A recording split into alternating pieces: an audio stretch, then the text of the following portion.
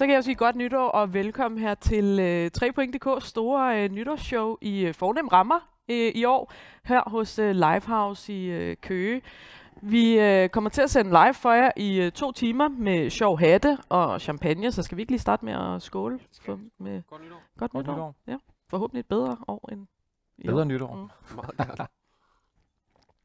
Men vi skal tale en hel masse Brøndby i dag, og vi skal have uddelt en hel masse præmier. Øh, fede præmier. Øh, og det kommer vi til at gøre sådan løbende i øh, programmet. Hvis I har øh, skrevet enten inde på 3.dk eller på Facebook, så er I med i lodtrækningen om, øh, om de her præmier. Så har vi nogle temaer, vi skal have talt igennem i dag. Det første tema øh, i år, eller i dag, det bliver sådan et øh, lidt all-round tema, hvor vi skal tale lidt om året, der gik. Øh, og vi skal kigge lidt frem mod øh, 2023. Det skal jeg sammen med øh, dig, Morten Svend. Velkommen til. Tak for det. Og dig, Peter Frohlund. Velkommen til dig også. Tusind tak. To af de velkendte stemmer fra, øh, fra Brøndby Lyd. Øh, hvis jeg nu bare lige starter med at stille sådan et bredt spørgsmål. Når I sidder og skal se tilbage på år 2022 for Brøndby IF, hvad er så overskrifterne for jer? Altså, jeg tror, man kan sige, der har været, der er to. Fordi sportsligt har det jo været altså voldsomt skuffende, øh, må vi erkende. Men øh, der er ligesom øh, en, en ret hæftig overlægger, som kommer til at betyde ret meget for det Brøndby, vi kendte og kommer til at kende, som ligesom er den her overtagelse fra, øh, fra GFH. Øh, hvis ikke det havde været for den, så tror jeg virkelig, at det havde været et år til, til glemmebøgerne, men, øh, men det tror jeg ikke, det kommer til at være. Jamen, jeg synes, det har været sådan en øh, kæmpe transformationsår på en eller anden måde. Ikke? Øh, altså, vi gik fra øh, at være mester for ikke så forfærdeligt længe siden, og man troede sådan Gud, måske, ja. at vi var i, på vej i en, øh, i en øh, opadgående spiral til et år, hvor at, øh, ja, vi havde brug for nye penge, vi har fået nye ejere, vi er blevet, øh, hvad hedder det, mere eller mindre øh, permanent øh, presset sportsligt og har ligget øh, med et lavt point øh, gennemsnit og, og ligner et hold, der, der får det svært øh, ved at nå top 6 nu her. Så, så altså, det, det har virkelig været en forandring. Men så alligevel også, jeg kommer an på, det skal vi også snakke om lidt senere, hvordan man ser på det her med nye ejere og nye penge. Så er, er det jo selvfølgelig i hvert fald uanset, hvordan man vender og drejer det, også nye muligheder. Så der har været, der har været lidt fra, fra det meste, øh, bortset fra sportsligt. Der har kun været noget af det sløje, desværre. Hvad, øh, sådan rent øh, spillemæssigt, hvad har fyldt mest for jer i, øh, i året, der gik? Jamen, jeg synes for mig, altså der handler det om, at øh, altså, det, det, det, vi, vi, vi har ikke rigtig udviklet noget. Altså, der er ikke noget, der er blevet bedre. Jeg synes ikke, jeg synes ikke vi sådan spillemæssigt har lignet et, øh, et projekt på vej frem, og det tror jeg også øh, er årsagen til, at, øh, at man valgte at lave den her aftale med Niels øh, om, at han ikke skulle være der længere, fordi altså, det, det, har været, det har været en sløj omgang. Vi har spillet meget på, på dem, vi spiller mod præmisser, og det virkede jo fint, da vi blev mestre, men, men det har virket øh, meget dårligt i 22, og vi har ikke kunne vi har ikke rigtig kunne bygge på.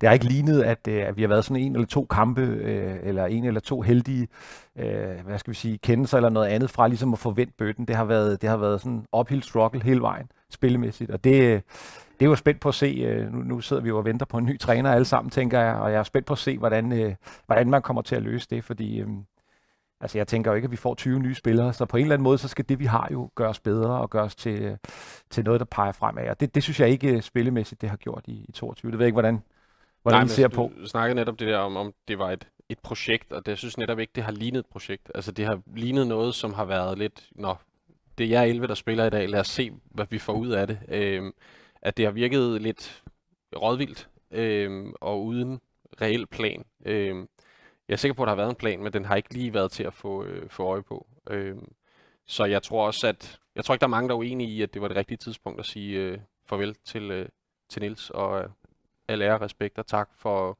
for hvad han har gjort, øh, fordi han gjorde os også til mestre med et endnu mere begrænset materiale nærmest. Ikke? Mm. Altså, der skulle bygges en statue af manden. Det, det, kan vi vel, uh, det kan vi vel godt lægge Ja, fast. øh, Vi men starter det med er Per Bjergård, også- så, øh, men så Niels. Ja, ja, Så det, det kommer øh, der om er 100 flere- år, så kommer Ja, der ja. en af Niels. Vi, vi Der- er lidt langsomme. Der er flere in the making, ja. men, men uh, han, altså, han, han har jo gjort det godt, men, men det var kørt fast, ikke? Så det, det er Ja. jeg enig i. Jeg synes, og det håber jeg, men det tror jeg også alle gør. Altså husker, at, uh, at det mesterskab var vel altså noget af det mest fantastiske, man kan præstere uh, under de forhold. Så på den måde øh, skylder man ham meget, men det var kørt fast, det er jeg enig i. Hvis vi skal prøve at blive lidt ved, ved overskrifterne for, for året, sådan rent sportsligt, fordi vi har et, øh, et helt tema om GFO senere i, i udsendelsen, så det kommer vi til at tale øh, en masse om der. Øhm, men, men sådan rent sportsligt, øh, det har været sværere for mig at finde overskrifter på de, på de negative sådan, sportslige øh, historier, end det har været med de positive. Men hvis jeg alligevel skulle prøve, Omvendt, ikke? Det har, været, det har været nemmere, jo, det har været nemmere Ja. at finde de dumme. Ja. Ja. Ja. Jamen, jeg tænkte også, lad mig prøve at pege på kan Jamen, jeg har, jeg har en, altså jeg har faktisk en, som, øh, jeg har, eller jeg har to, men, men den første, jeg vil tale med om, den, øh, det er øh, kampene mod øh, Basel og, øh, øh, hvad hedder det, hvad hedder det andet buskehold? Ikke Gdansk. Stettin. Stettin, ja. På hjemmebane. Fordi der tænkte jeg, hold da op nu lige, når vi skulle da et øh, europæisk fodboldhold, som, som har lært noget af, af de tidligere år. Kan I, kan I følge det? Altså den, de der to kampe på, på hjemmebane, der var et eller andet der. Er egentlig også på udebane i Polen, synes ja. jeg. Øhm, men ja, og vi havde, altså, men det er jo så, det bliver jo så samtidig også en voldsom negativ overskrift, synes jeg, fordi vi havde alle muligheder. Øhm, og ja, hvad, dagen efter blev Daniel Vast præsenteret, ikke? Så altså, det virkede lidt som øh, på en eller anden måde too little too late, øh, fordi Basel var klar til at snakke med. Øh, og altså, at vi ender med, øh, ja, at, øh, at det er nogle af de helt unge, som skal bære et europæisk eventyr for Brøndby på ryggen. Øh, det, ja, det, det var jo det er super ærgerligt, at det endte sådan, fordi vi kunne, vi kunne have endt med at spille europæisk i, øh, i det her efterår. Øh, spørgsmålet er, om det havde været særlig godt for os, men, øh, men det er jo så noget andet. Øh, fordi du har ret, vi spillede nogle rigtig gode kampe, og der var øh, et, en stemning på stadion, som øh, nærmest ikke var oplevet siden mesterskabet, fordi vi var så også heldige med, at vi, vi kom hurtigt foran, eller kom hurtigt ind med nogle store chancer, eller nogle gode taklinger, som virkelig fik folk i gang meget hurtigt. Øh, men det var, øh, altså der var fantastisk stemning til de to kampe. Mm. Øh, vel egentlig nærmest stemningshøjdepunkter i, i 2022. Det har været de to kampe nærmest, ikke? Ja. Øhm, Men alle har jo også bare gået og ventet på det der. Eller det ved jeg ikke, men jeg har i hvert fald, altså sådan, hvor vi europæisk har lignet et hold, der øh, var gode nok til at være med. Og det, og det var vi jo. Altså, Ja. det, det var vi jo. Samlet set er det jo virkelig ærgerligt, at vi ikke slog, øh, slog Basel ud af mange grunde, men egentlig også fordi, vi kunne godt have vundet større hjemme. Det var en fed kamp, og en af de, af de bedste længe. Så det, det synes jeg faktisk, øh, det er godt hed frem. Det var en positiv overskrift. Den er med på. Ja, se selv. Den er, Altså, med på. det, den er med på. Så behøver vi jo, øh, altså kapitel 2 bliver jo så Ja. et, ja, et, præcis. et Det, det, boldspark af bibelske dimensioner, men det kan vi springe over. Men, men hjemmekampen var god, det, er- det er jeg enig i. Øhm, det har været lidt svært at finde flere positive, men, men der, var, øh, der var nogle kampe mod slutningen af foråret i sidste sæson, hvor vi efter at have tabt været syv i træk eller sådan noget. Øh, vi slår OB på udebane, hvilket jeg tror kom bag på os alle sammen. Så er der den der sidste hjemmekamp mod Silkeborg, hvor vi synes, jeg synes, vi spiller en rigtig, rigtig god kamp. Men det skal selvfølgelig med i ligningen, at det var mod Silkeborg-hold, som måske havde lidt øh, Tømmermænd. bronzetømmermænd og var gået på ferie. Men, øh, men flot kamp var det øh, ikke desto mindre. Så er der... Øh, så er der vores pokalexit. Jamen, jeg har en positiv mere, hvis vi skal tage det. Okay, fordi det er. Jeg Ellers synes, så vil jeg lige... at øh, de indkøb, vi laver i nu her i slut august, mm. øh, jeg kan ikke huske, hvornår vi sidst har hentet nogen ind, som er gået direkte ind og har haft impact. Jeg kan næsten ikke engang huske det sådan i, på Superliga-niveau, og slet ikke med så mange. Altså fordi både Vas og Ohi og, øh, og Wallis er kommet direkte ind, og ligner nogen, der skulle have spillet der hele tiden. Mm. Øhm, og det er meget positivt, Øh, fordi vi plejer altid at have, altså ja, Lex Mathias Greve, ikke? Øh, at der virkelig er, er lang indkøring, og han begynder så også at ligne noget. Øh, måske en, en, øh, en underrubrik øh, positiv, at øh, Mathias Greve begynder at ligne en, en Brøndby-spiller. Mm.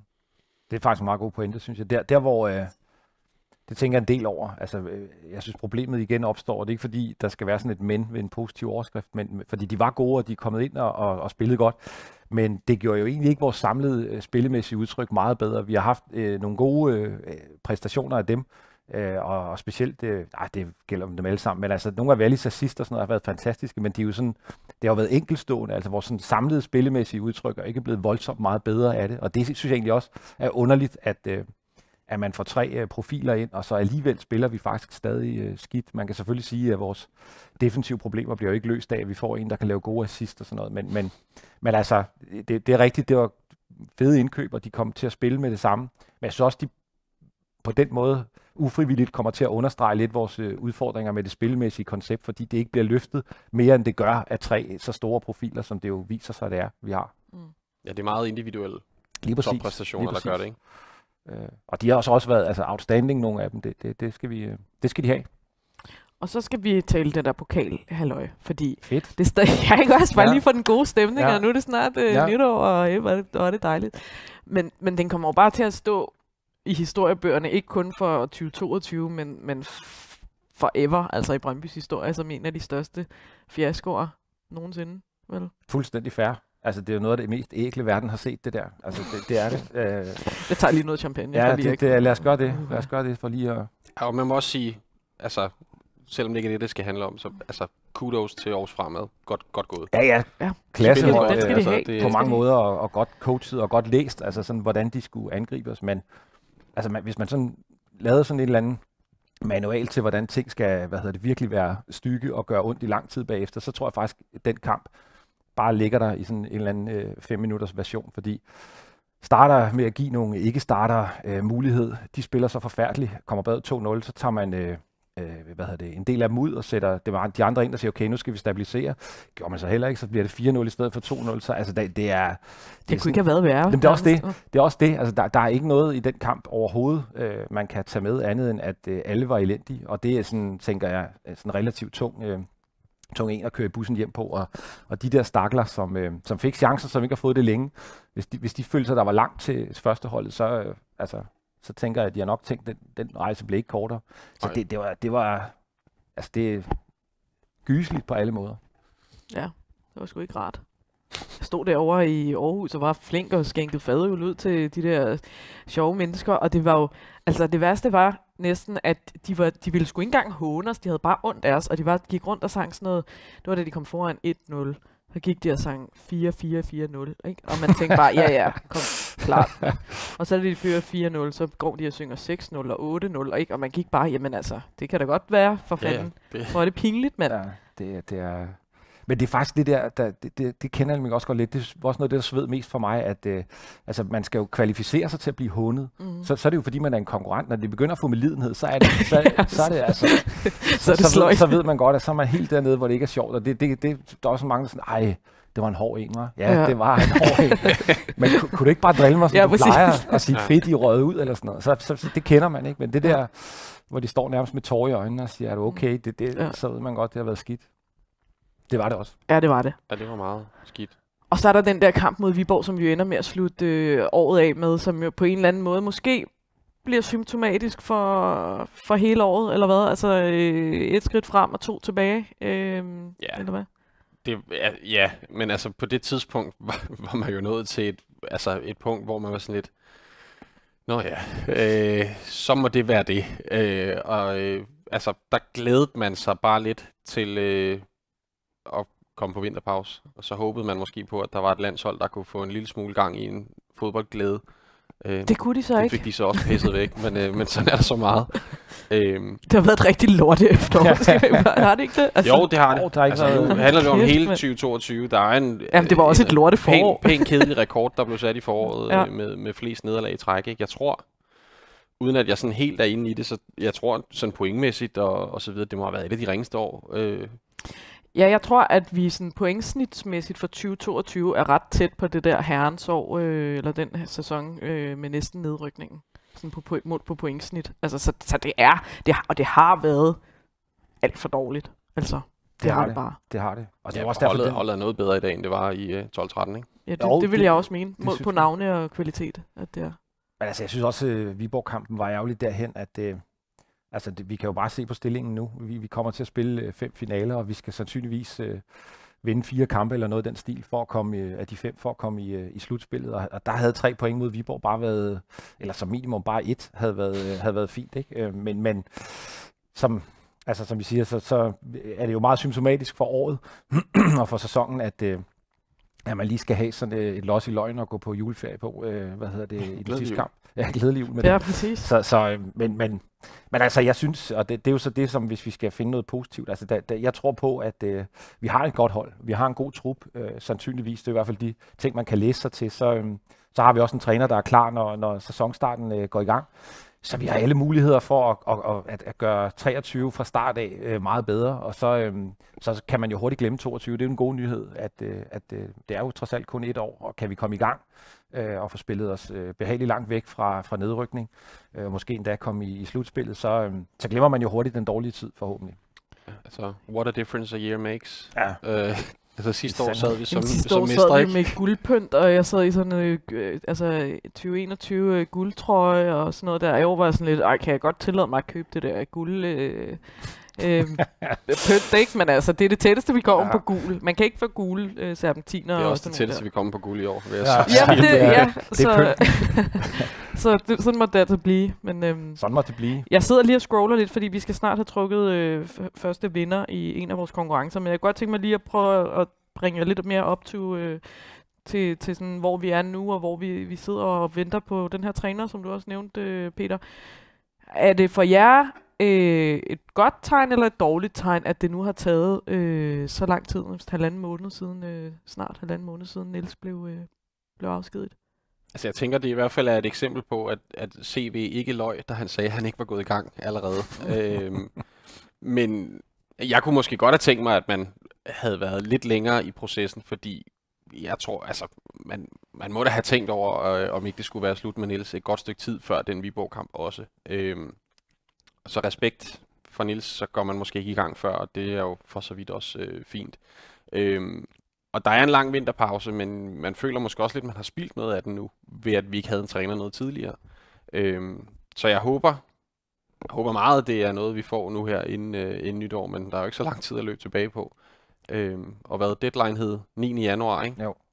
Øhm, Men kommer det ikke også meget ind på, altså, hvad der kommer til at ske, Jo, jo, synes altså jeg? Fordi... har de brugt halvanden måned på at hive Peter Sørensen op af hatten, så vil jeg nok, så vil jeg nok blive lidt skuffet, vil jeg Ja, sige. men det, Jo. det er lidt det. Altså, hvis, hvis det er et udtryk for, at, øh, at de har forhandlet med nogle store navne, og det kan være svært, øh, forestiller jeg mig, og, og nogle af dem er måske, det ved vi ikke, i job, og der kan være sådan lidt, så synes jeg egentlig, det er okay, der er gået tid øh, med det. bestemt. Men altså, jeg er enig, altså vender man tilbage og får frem af U19-træneren eller et eller andet, så, så, så lugter det lidt af, at, øh, at man har været på herrens mark og måske været lidt i vildred. Men det tror jeg egentlig ikke, man har. Jeg tror også, øh, måske i virkeligheden, det hele er blevet, øh, hvad skal man sige, øh, lidt langsomt gjort af, at man skulle have måske øh, nogle af, af GFH's, øh, hvad hedder det, øh, fodboldeksperter med ind over, eller et eller andet til at, at spare lidt. Det ved jeg ikke.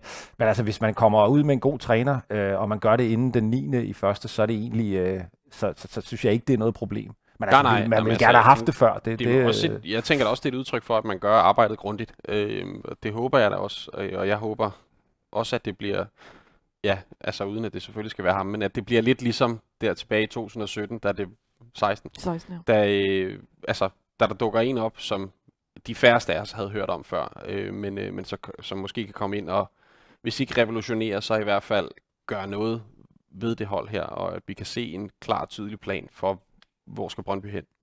Men det forlyder jo også på vandrørene, de vandrør, der nu er, øh, lidt utætte, de, fordi jeg synes godt nok, de, øh, altså, øh, Ja, der er kommet dygtige kudos til øh, Ja, det er der. CV for virkelig at have øh, lukket ned for alt, for der har godt nok ikke været meget, der har set ud. Men, men jeg synes, at det, man godt kan fornemme, at det, at det lidt er den der sornikker type, man, man gerne vil tilbage til. I hvert fald den spillestil, og måske også nationalitet. Mm. Øhm, hvad, hvad tænker I om det? Er det det rigtige? Ja, det synes jeg. Altså, det, det er jo svært at vide, om man kan få øh, en, der kan lave den samme succes og gøre det lige så hurtigt. Men altså, Sorniger var jo et, øh, et, et super godt eksempel på, at øh, med det spillermateriale, han havde til at starte med, fordi det skal man huske, det var egentlig ikke, jeg er klar over, at han fik lov at købe meget, men, men i starten var det jo ikke prangende. Der fik han ret hurtigt øh, skik på holdet og fik lavet en meget tydelig spilstil og fik jo egentlig også gode resultater. Og det viser jo også for igen at sige det der, altså vi kan godt sidde og jamre os over året nu, men, men, men altså med, med den rigtige træner og med, med, med en øh, meget præcis, tydelig tilgang, så kan det jo også vende lynhurtigt. Så jeg tror, altså kan man få en øh, øh, fra den, den skole, hvis man kan kalde det det, som hurtigt kan sætte sit præg, og som får lov til at sætte sit præg, så, så tror jeg egentlig, øh, så tror jeg egentlig, vi er godt stillet ret hurtigt. Ja, hvis det så er en, der kan være i en klub i mere end to og en halv sæson, før øh, spillerne har lungerne ud af halsen og er parat til at hænge ham på korset, så vil det ikke gøre noget. Nej. Øh, fordi det, det er også historien om Sorniger, at han kørte folk i bund på godt og ondt. Mm. Øh, fordi jeg tror også, der var mange, der lærte meget af det. Hvad, øh, der er jo begyndt at komme en lille bit smule transferrygter. Der har været lidt, øh, okay, er Brøndby øh, interesseret i Vito Mistrati, øh, som, er, som er røget helt ud i kulden nede i Rumænien. Øh, Magnus Madsen, øh, tidligere Silkeborg, nu må jeg undskylde min udtale, NEC Nijmegen? Nej? Nijmegen. Nijmegen? jeg. Kan bare se. Det skal jeg øve mig lidt på. Et sted i udlandet. Ja, Ja. præcis. Det er Mhm. ikke i Danmark. Men, øhm, altså, siger det jer noget om, at man muligvis er tæt på en træner, eller er det her potentielt navne, som vi bare har været interesseret i? Altså, det kunne man måske godt forestille sig, at vi har været interesseret i dem længe, eller har haft dem på Det er, bloggen jo, længe. det er jo navne, som hvis man sidder og er lidt øh, rygtesmed, så er det meget nemt at kæde dem sammen med Brøndby. Det er nemt at nævne Brøndby i den sammenhæng. Altså, det er danske spillere, som er groet lidt fast måske. Mm. Dem har vi altså hentet mange af, øh, og der er mange Superliga-klubber, der kunne være interesseret i de her. Vi er trods alt Superliga-klub med et pænt budget. Vi skal nævnes. Øh, så om der er noget i det, det ved jeg ikke. Altså, Marcondes er også nævnt, ikke? Øh, og For 17. transfer. Ja, det er-. Ja, ja. øhm, så, så altså, øh, om der er mere i det end det, det ved jeg ikke. Fordi jeg tror, øh, ja, som sagt, vi skal nævnes. Men jeg håber et eller andet sted ikke, det er et udtryk for, at... Øh, altså, jeg, jeg håber egentlig, det er sådan ret øh, skilt fra øh, hele trænerprocessen. Jeg kunne godt tænke mig, at man, man kom tilbage til, at øh, klubben havde en strategi og hentede spillere ud til det, og træneren så, øh, hvad skal man sige, øh, øh, altså egentlig bare sørget for, at, øh, at klubben har det udtryk med de spillere, som klubben vælger, der skal til. Så vi ikke, ligesom, det var jo lidt fejlen med Sorniger, at øh, altså, der, der rettede vi jo alt ind efter ham. Men kan du Øh. huske, at hvad er det, en måned eller halvanden, inden vi ansætter Sorniger, der er Troels Bæk ud og sige, vi henter Jonas Boring på en fri transfer, fordi vi har en klar defineret spillestil her i Brøndby, så vi kan, godt, vi kan sagtens hente spillere, uden at øh, træneren øh, er inde over det. Flash forward halvanden måned senere, Sorniger står der, vi spiller ikke med kantspillere. Så Nej, men der skal du Jonas, nok- du kan spille bak, eller du kan finde en anden klub. Men tror du ikke, du skal drysse lidt Jan Bæk ned over det? Altså, jeg, jeg tror, jeg tror, jeg tror sgu, Troels Bæk mente det der. Jeg tror bare ikke, øh, at uh, Troels Bæk bestemte det. Og så, så ender det sådan der. Altså, det, det, det tror jeg. Ja, Jeg, det- jeg tror gerne, men man det var bare sjovt, det. synes jeg. Ja, ja, det er super sjovt. Øh, og hvis ikke, Ikke man hedder Jonas Jonas. Boring, ja. Præcis, så tror jeg faktisk, øh, jeg tror, han synes, det var alt andet sjovt. Men, men David jeg tror Boysen ikke... synes heller ikke, det var skide sjovt. Nej, det, hvad, hvad noget, han har trænet en dag. Der var nogen, Var der ikke noget, der pænere end andre. Ja, Ja, Altså, præcis. Men altså, ideelt set, så, så håber jeg, at vi får lavet et setup, der er stærkt nok til, at, øh, at træneren bliver ansat øh, til at levere det, vi gerne vil have, og at det ikke er en træner, der kommer ind og skal hjælpe os med at definere, hvordan vi skal spille. Øh, det kan selvfølgelig godt være, at øh, altså, hvis vi står i et vadested nu, er der en eller anden kombination af det der, men, men gående fremad, øh, længere fremad, der, der håber jeg, at, øh, at vi kommer tilbage til en, en spillestil, og at træneren øh, egentlig bare skal levere til det. Men det må tiden vise. Man kan sige, det har vi jo ikke øh, den vildeste succeshistorie med sådan lige nu, så, så det vil jo være godt nyt, synes jeg. Nu vil jeg lige få trukket øh, den første vinder i øh, konkurrencen om alle de her fede præmier, vi har lagt op. Blandt andet vi har vi fået øh, VIP-billetter til øh, loungen fra jer i Arbejdernes Landsbank, Peter. Det er rigtigt. Men øh, vi har fået en masse gode svar ind, så nu laver jeg simpelthen bare øh, en øh, Jeg kan skrive under på, det der det er tilfældigt. Ja, det det er er altså- fuldstændig tilfældigt. fuldstændig random her. Louise Brix, øh, hun vil rigtig gerne vinde øh, tre timer under nålen hos øh, Tattoo Hans. Så øh, det vinder du, Louise. Og Tejs, min ven, hvor er du? Jeg tænker, du kan skrive ned, hvem der vinder hvad, så vi lige kan huske det. Louise Brix, øh, Tillykke. du kan også sende Ja, en mail til, Godt eller du skal sende en mail til nanasnablag3.dk, så får jeg lige hooket dig op med, øh, med Hans, så du kan komme ind og øh, få noget blæk i huden. Formentlig noget Brøndby-blæk, tænker jeg. Men øh, det, var, øh, det var første En values-tatovering. Kan man nå det på tre timer? Det kommer nok an på, om hvor der bare skal stå være. Ja, ja, hvis der bare skal stå values, så... Men det er for hvor stort. Det er hele ryggen, eller... Ja, præcis. Ja, men det kunne godt. Skal vi ikke lige sige skål? Det skal vi. Skål. Har vi jo Godt nytår. Godt nytår. Ja, godt nytår derude. Ja, det bliver... Det skal blive bedre end det her, Lidt vi lige har snakket om. Altså, Øh, Det kan ikke være et højdepunkt, at vi skal tale om, at vi vinder en første og en anden kvalrunde kamp i Europa. Altså, det må ikke være højdepunkterne igen om et år. nej. Men vi vil jo egentlig gerne spille Europa, kan man sige. Jamen, det kan være, at vi Ja. sidder næste år og siger, at det var jo et det var fantastisk højdepunkt, at vi blev nummer syv Ja. og kvalificerede os til at spille Europa Playoff. Ja, det, det, det vil være fedt. Men øhm, vi tager lige øh, to videoer, tænker jeg, hvor vi lige, så får vi lige skiftet ud i øh, panelet. Vi har nogle øh, faste videoer, som vi kommer til at køre, når vi øh, skifter ud i panelet. Får vi lige skiftet øh, Peter og Morten ud. Jeg har lært at sige det i den rækkefølge. Så øh, vi Tak. ses øh, lige om lidt efter videoerne her. Allé, allé Forza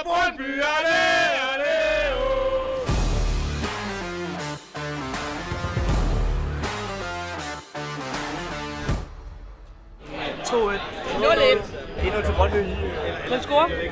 Rosted. Rosted?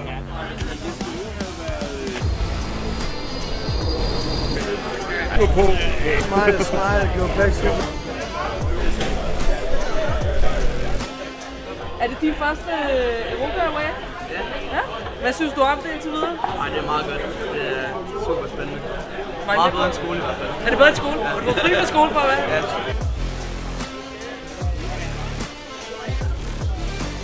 Men vi går videre? Ja. ja. Yes. Gør vi da. Selvfølgelig skal vi videre.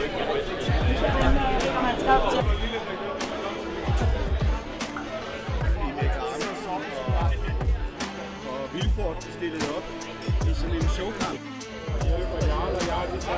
Vi hygger os helt vildt, så må vi se.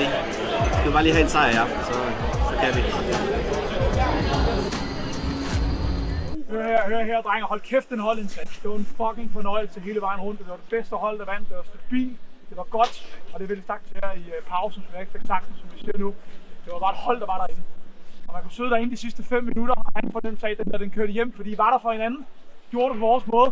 Det var fucking i orden. Og I skal glæde jer til at have en velfortjent afslutning på torsdag, fredag. Jeg vil gerne sende en brøndbjørn til, i dag til Ohi. Og Anders, jeg havde faktisk glædet mig til også lige at få dit take på ham som, som tidligere angriber. Altså her har vi jo bare fået en, øh, mm. en rigtig angriber. Ja, altså han er jo øh, det, som jeg kalder til stede inde på kontoret. Altså der er ikke så meget øh, dikadar. Han er oftest kun inden for, øh, for feltets bredde, ligger ikke og laver løb ud i siden for at kræve bolden. Han ved godt, hvor hans job er. Det er, det er inde på kontoret. Klinisk afslutter øh, er til stede derinde, og han får selvfølgelig sendt Mathias Kvistgården og Divkovic langt, langt, langt ud. De kommer slet ikke til at spille fodboldkamp. Så har jeg fået fint.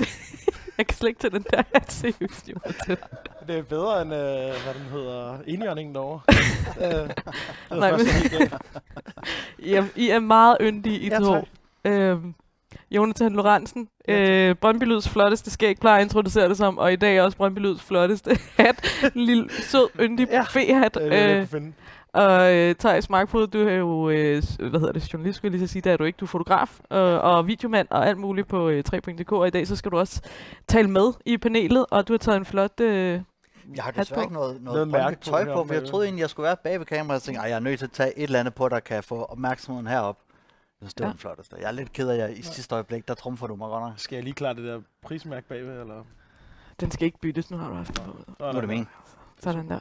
Øhm, nu skal vi tale om øh, masterclass, og øh, det bliver så med, øh, med jer to, og det bliver sådan lidt med den, øh, med den brede øh, pensel, vi skal male. Vi skal tale lidt om øh, U17 og U19-holdet i den her sæson, og så skal vi tale lidt om, øh, hvordan det ser ud med, med spilletiden for masterclass-spillere i, i Superliga-truppen, både nu her aktuelt, men også sådan øh, fremadrettet, og hvem er det egentlig, vi... Øh, vi kigger på. Øhm, så, så nu vil jeg bare lige starte med igen et bredt spørgsmål til jer, som jeg også startede til de, til de to andre.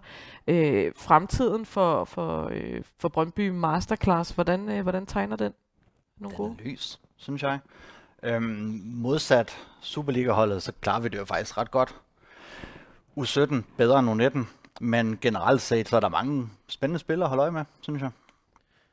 Ja, øh, og så grunden til, at U19 måske klarer så dårligt, er der jo også nogle spillere, der, der spiller opad, kan man sige, hvor vi, vi prøver dem af på et højere niveau, end de, øh, de måske er klar til. Men det er jo, øh, hvad kan man sige, de udtalelser, der er kommet, det, er ikke, det handler ikke om at blive nummer et, det handler om at udvikle spillerne, og hvis øh, vi har en masse U17-spillere, der over, eller præsterer rigtig godt på U17, jamen så skal de prøves af højere op, og så nogle af dem falder måske lidt igennem, og så ryger de retur, og så det er jo, øh, det er jo loddet, kan man sige, for Masterclass. Det handler ikke om øh, præstationerne helt i, altså på, i tabellen. Det handler om at se, hvordan spillerne udvikler sig. Og det er jo, ja, det er jo ret klogt, kan man sige, at gøre det på den måde.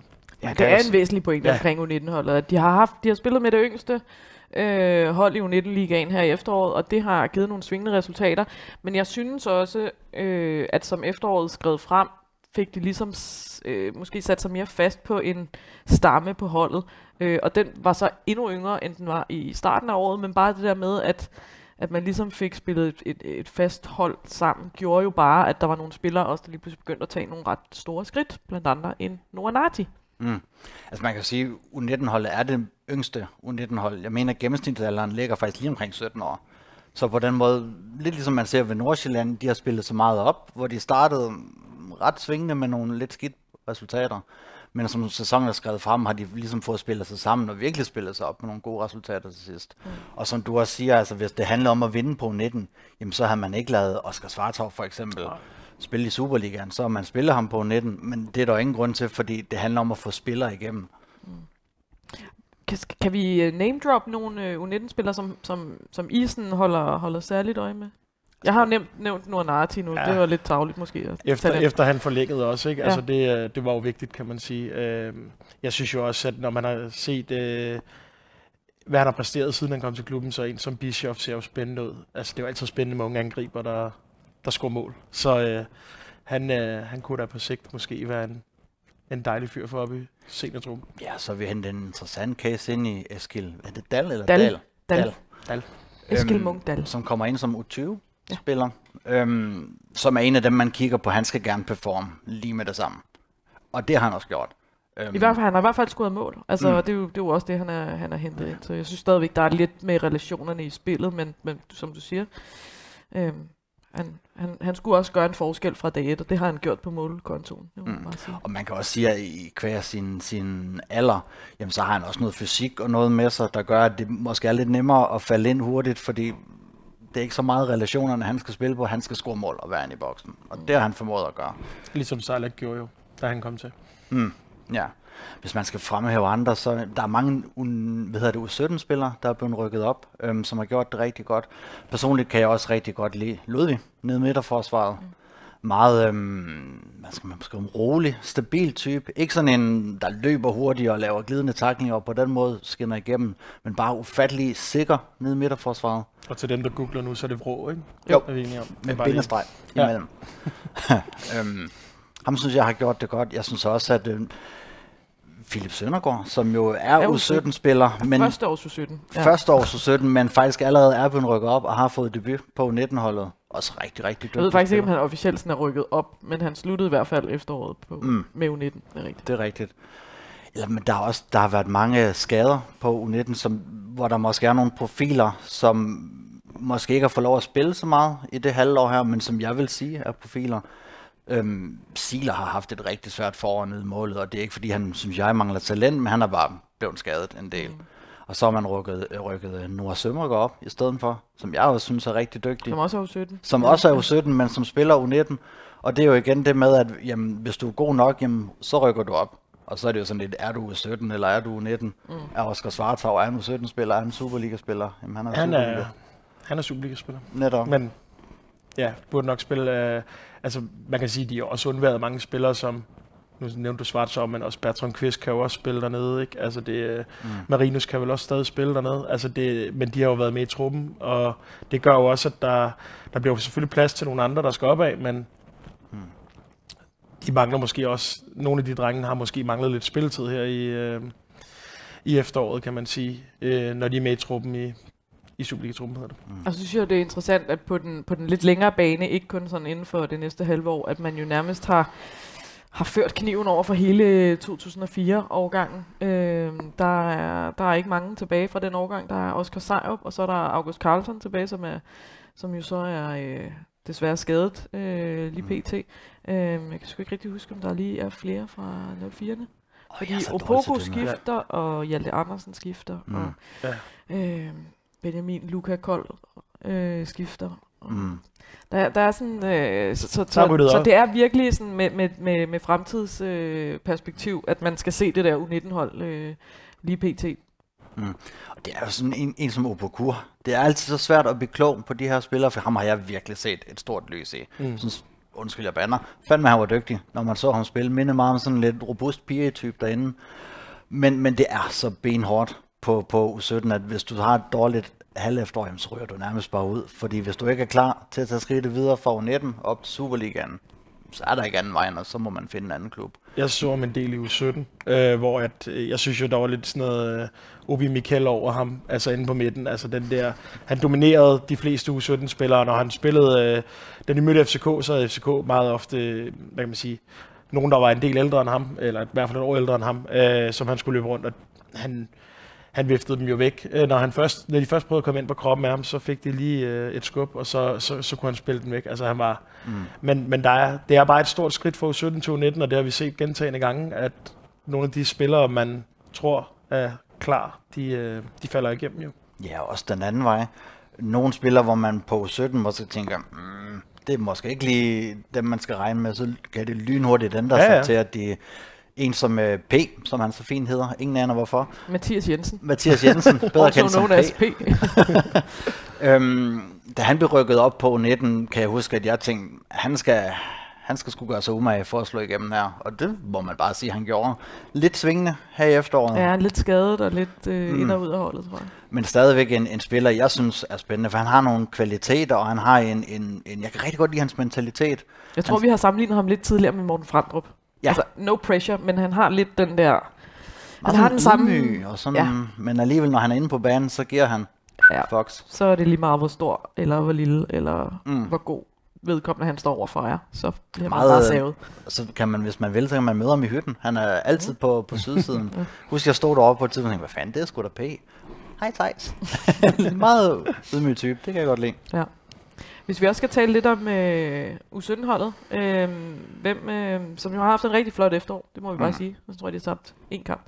Øh, og det var måske, altså, jeg vil ikke sige, at jeg havde sådan de helt sindssyge for, forventninger til det her U17-hold, inden sæsonen gik i gang. For det første, fordi jeg ikke kendte øh, 2007-overgangen ret godt, som er jo dem, der er rykket op. Øh, der er bare, de har bare vist, at der er godt nok nogle kvalitetsspillere på den overgang der. Øh, og så synes jeg, at der er nogle af 06'erne, som virkelig er, er steppet op mere, end jeg måske havde, havde regnet med. Men, øh, men hvem kan vi sådan, øh, hvem, har, hvem har du bidt mærke i, Thijs, i, i efteråret?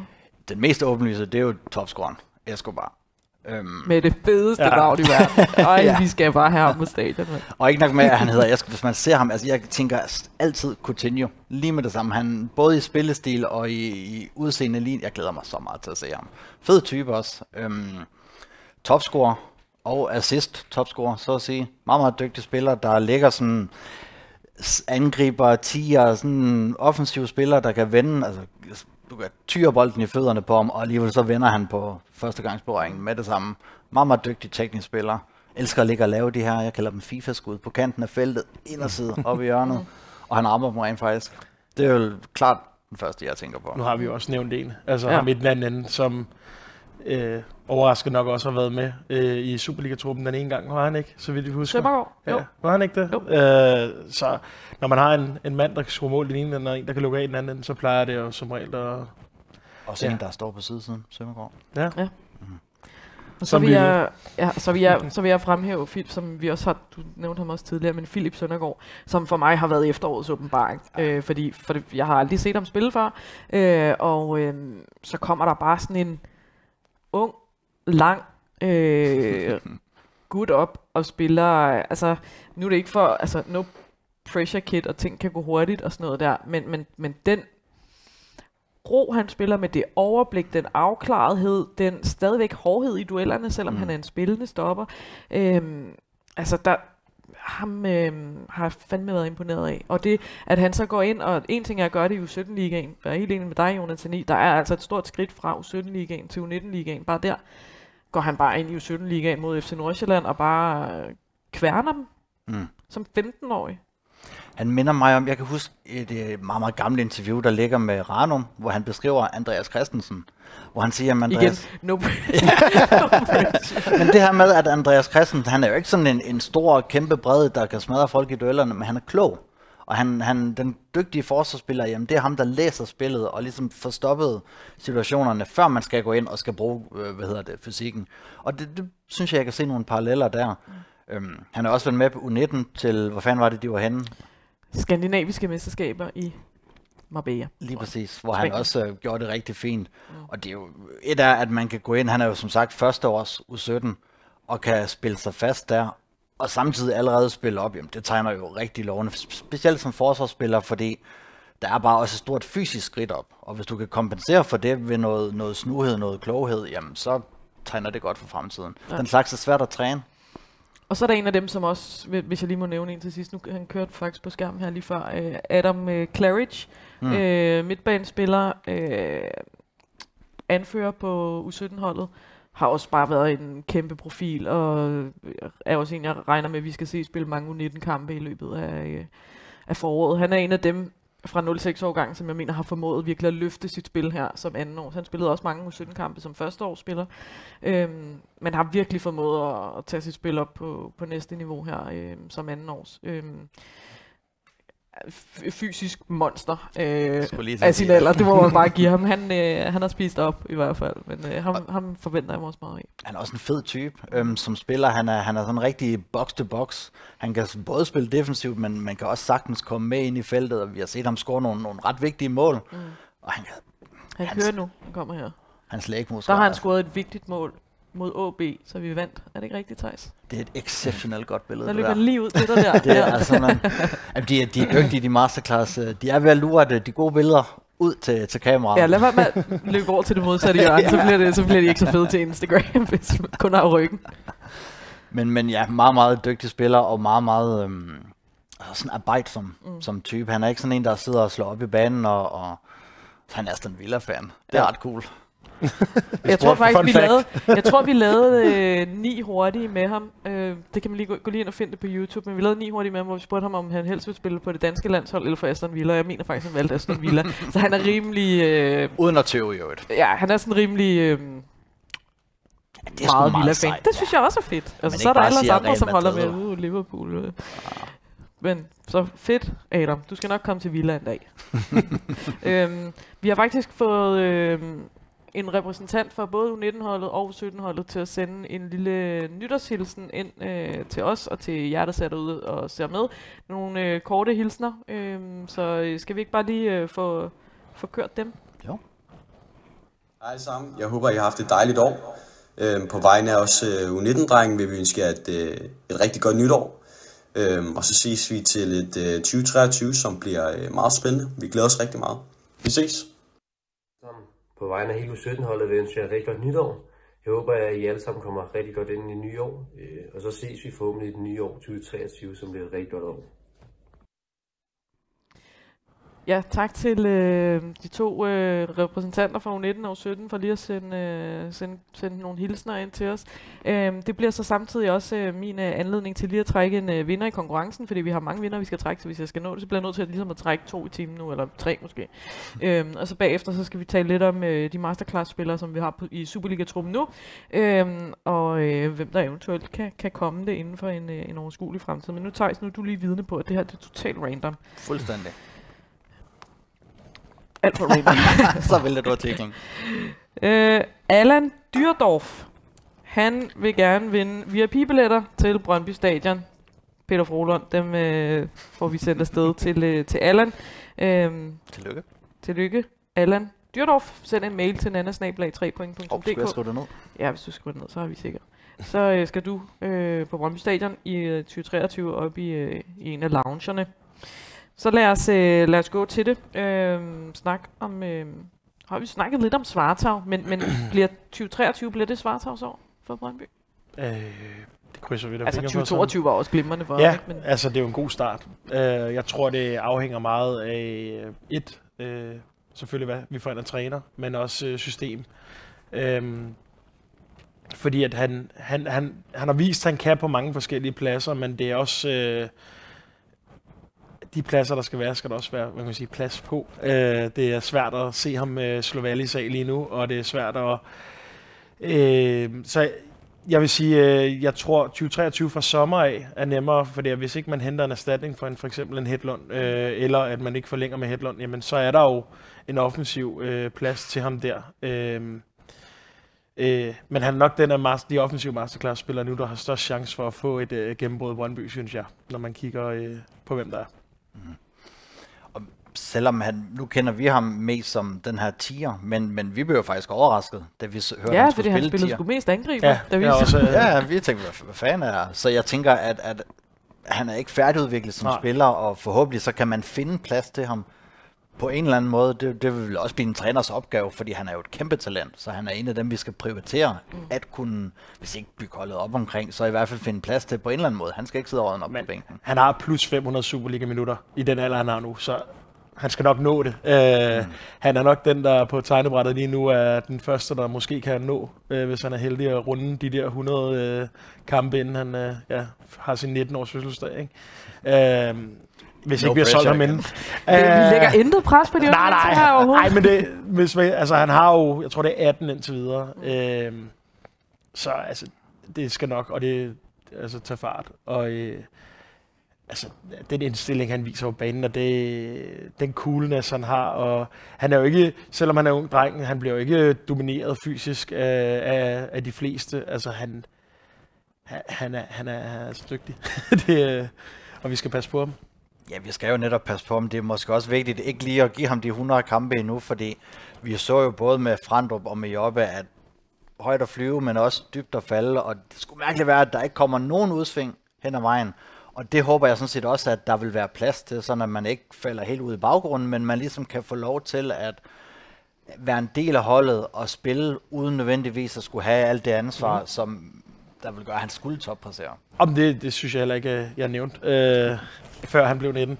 Øh, men der er også lang tid til. Øh, og øh, med det, han har præsteret indtil nu, så er spørgsmålet også, om, om man kan få lov til at holde på ham. Altså, fordi at han er interessant. Han har været interessant tidligere. Øh, så det er, øh, det er en lys fremtid, og med de kampe, han har spillet, og de mål, han scorer, altså det er jo forskellige mål, han scorer. Det er med det dårlige ben, det er med det rigtige ben, det er med øh, øh, tæt ind i feltet, hvor han er kølig nok til lige at lade den hoppe en gang, i stedet for at han prøver at sparke til den og ramme den med skinnebenet. Ikke? Altså, det er, øh, det er en lys fremtid, og jeg, jeg, jeg, jeg er faktisk i tvivl om, hvilken position lige nu, der er hans bedste. Fordi at om det er at ligge til højre, eller om det er at ligge ind i midten, jeg er faktisk i tvivl. Fordi hvis han kan få den frie rolle på højre side, som han gjorde i nogle af kampene, jamen der, der ser man også, der ser man bare en helt anden øh, øh, Svartsov, når han kommer derudefra, som kan gøre ondt på rigtig mange hold. Ja, og jeg tror, for mig lige nu, så er det sådan lidt, øh, om han lige spiller den ene eller den anden plads. Det, det er ikke så vigtigt, tror jeg. Jeg tror bare, han skal, spa- han skal bare spille. Han skal, spille, han skal ja. bare have minutterne. Mm. Øh, og, og han skal også til at have dem på udebane, så det ikke kun er hjemme i, i, try- på trygge Brøndby Stadion, når han får de der minutter. Men det tror jeg også, han er ved at være klar til. Mm. Øhm, så... Øh, han skal bare, han skal bare have spilletid. Og jeg, jeg ved også, altså noget af det der, fordi det er jo rigtigt, da vi så ham på U17 og U19, der spillede han mest angriber, men, men jeg talte også med nogle af trænerne, som var lidt sådan prøvede at forklare det der med, men det handler også om, at for eksempel træne nogle specifikke kompetencer på en ung spiller. Jamen, hvis han virkelig øh, har behov for at træne et eller andet øh, ryggen mod mål, eller whatever, så, det, så, det, så kan man lidt øh, længere op på banen og spille, og prøve at få trænet nogle af de ting. Det er ret interessant. Vi har også set det med Mads Beyer for eksempel i, i den her sæson på U19-holdet, og sidste år faktisk på U17, at han nogle gange har spillet helt op på forreste linje, selvom jeg egentlig ser ham som sådan en rimelig øh, klassisk 8-10'er type, mm. at han så har ligget helt op på forreste linje. Det har også været igen for, for at få trænet nogle bestemte kompetencer ind i hans spil. Øhm, men, øhm, men det er rigtigt, jeg, jeg tænkte også, nå, okay, 10'er, simpelthen. Ja, men man kan jo godt se det, når han spiller. Han har det der øh, fantastiske øh, split vision, hvor han nogle gange ser nogle ting, som, som vi andre ikke ser.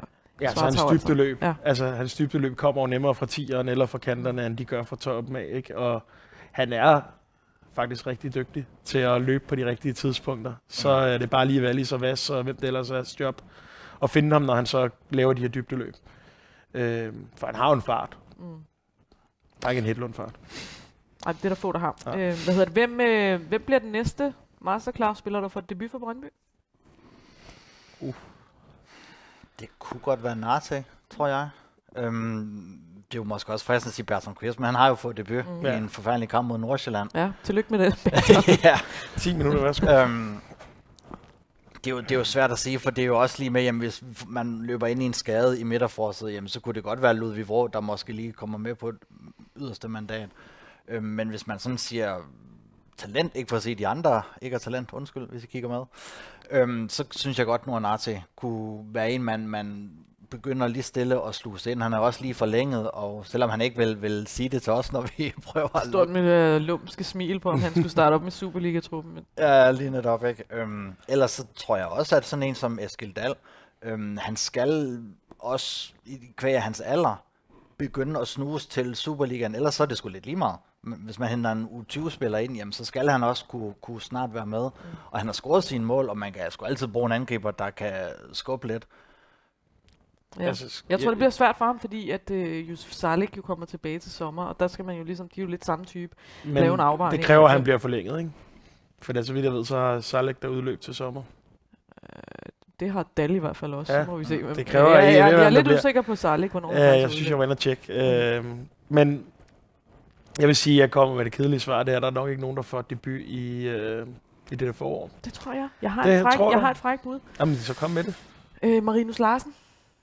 Åh oh, ja, Jeg okay. tror, Han- han var altså, jeg har sagt tanker. det længe, at jeg synes, han, han, han sådan har nogle kompetencer, der gør, at han, han godt kan være i spil til at få nogle minutter som indhopper i Superligaen. Ja. Mm. Jeg tror, han har brug for nogle nye, friske øjne på sig. Han har haft nogle uheldige episoder, blandt andet i preseason, hvor han hver gang han ligesom skulle vise sig frem, fik en lille øh, Mm. skade og blev sat lidt tilbage og sådan noget.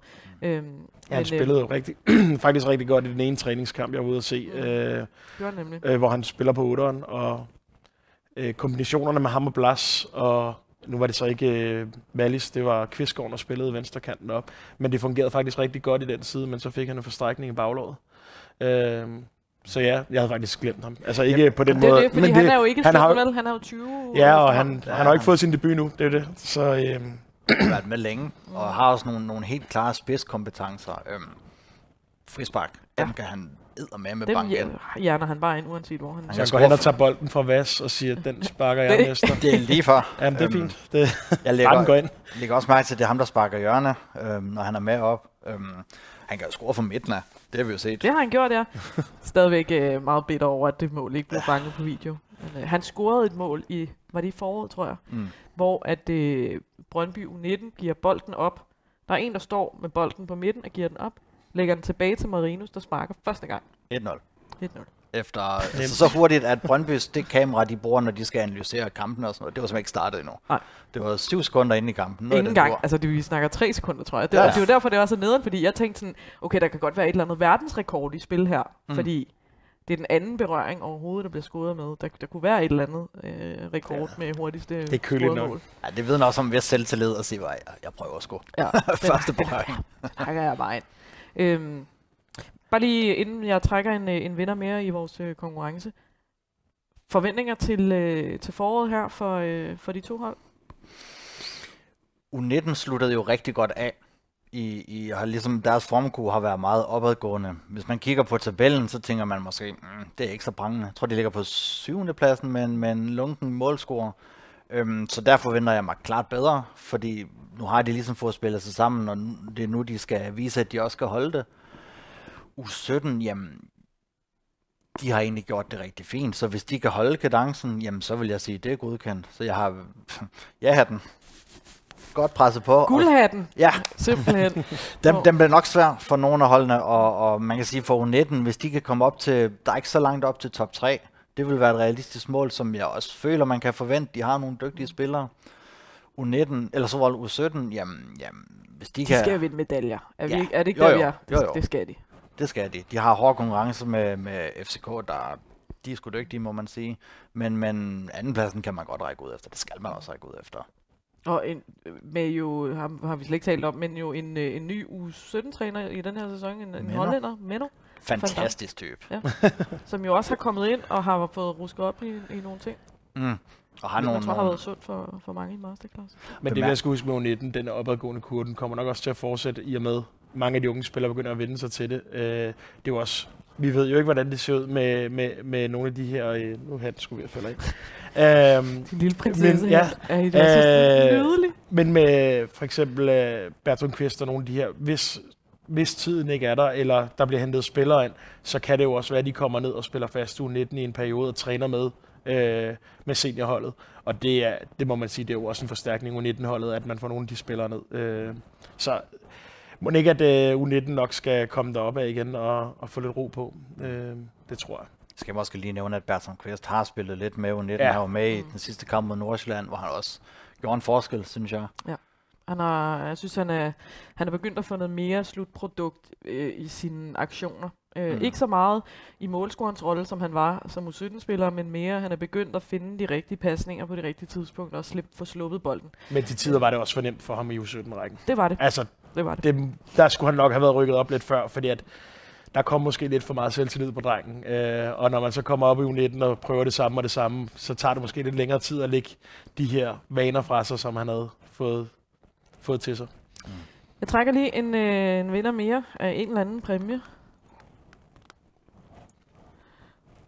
Og det bliver øh, Malene Malta Andersen, som øh, skriver, at det er et svært valg mellem trøjer og VIP-billetter. Øhm, men øh, da VIP-billetterne de er væk, så bliver det en, øh, en hjemmebane-trøje til, øh, til Malene Malta Andersen.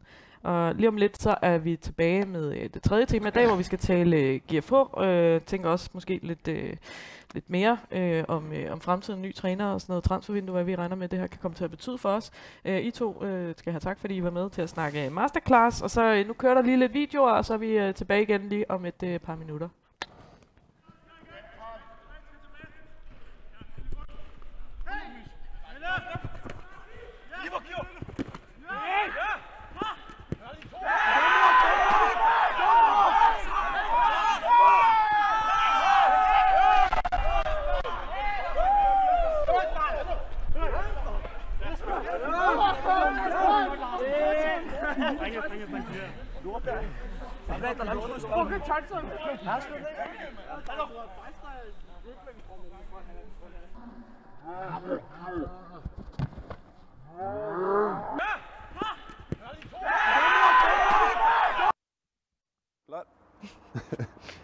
Anthony Ujah eller Erling Haaland?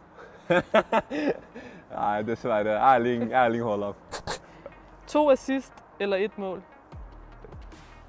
To assist. Hovedstød eller helflugter? Hvad?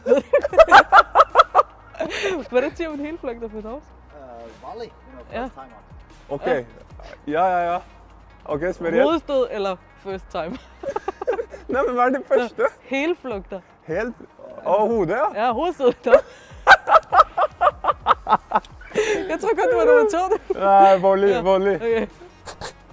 Ja, hode eller bein. Nei, bein. Hode. Volley, volley, volley. Playstation eller se en film? PlayStation. Genpres eller possession?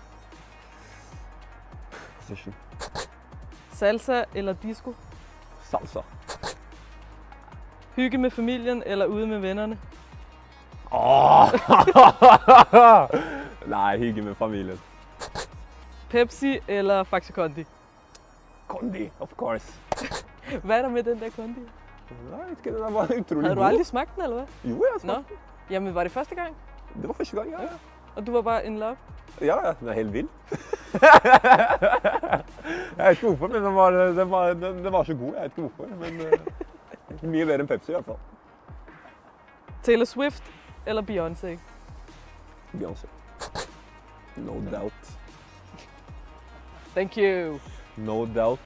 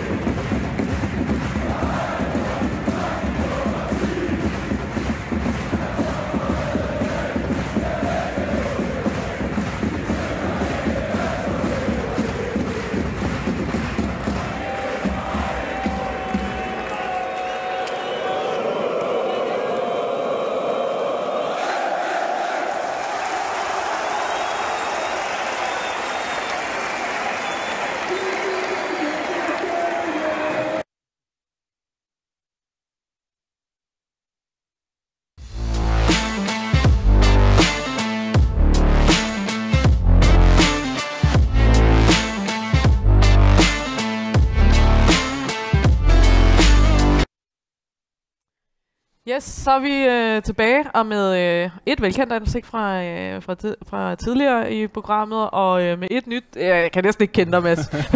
Mads Lose, velkommen til os. Tak. Det er øh, du to øh, indjørning her. Ja. Det, øh, jeg havde glædet mig til at se, hvem der ligesom turde og, og embrace og bære den der, og det blev så dig. Ja, jeg tænker også godt, jeg kan bære. Ja, jeg har også taget en fjollet en på nu. Er det, hvad er det, en flaske? Det er en champagneflaske, tror jeg. Ja, ja. er Okay. Skal vi så ikke skåle med folkene? Det gør vi. Skål. Skål. Derude. Og du bærer den med stil, den der, det vil jeg sige. Det synes jeg også, du gør. Og en, øh, en, en matchworn ankergren, tror jeg. Er det Ja. rigtigt? Jo. Kan, kan du ikke lige dreje rundt på stolen? så Jo, lige- sagtens. Og den gør vel egentlig, at man kan tage lige nøjagtigt den hat på, man vil. Ja, præcis. Ja, altså, altså, altså, så er der ikke det, du ikke kan bære. Nej, det er det. det, er det. jeg tror, der bærer hele looket i dag. Ja. Jo. Ja. Øhm, og, og du, jeg kan godt lide, Peter, du kører den lidt mere afdæmpet, men, men stadig Brøndby merch, ikke? Jo, jo, men lige ikke, præcis. lige, ikke med Lige præcis. enhjørning, horn og... Der er, der er simpelthen noget til. Det skyldes nok, at jeg ikke har en ankergren matchform. Ja. Så havde jeg været klar.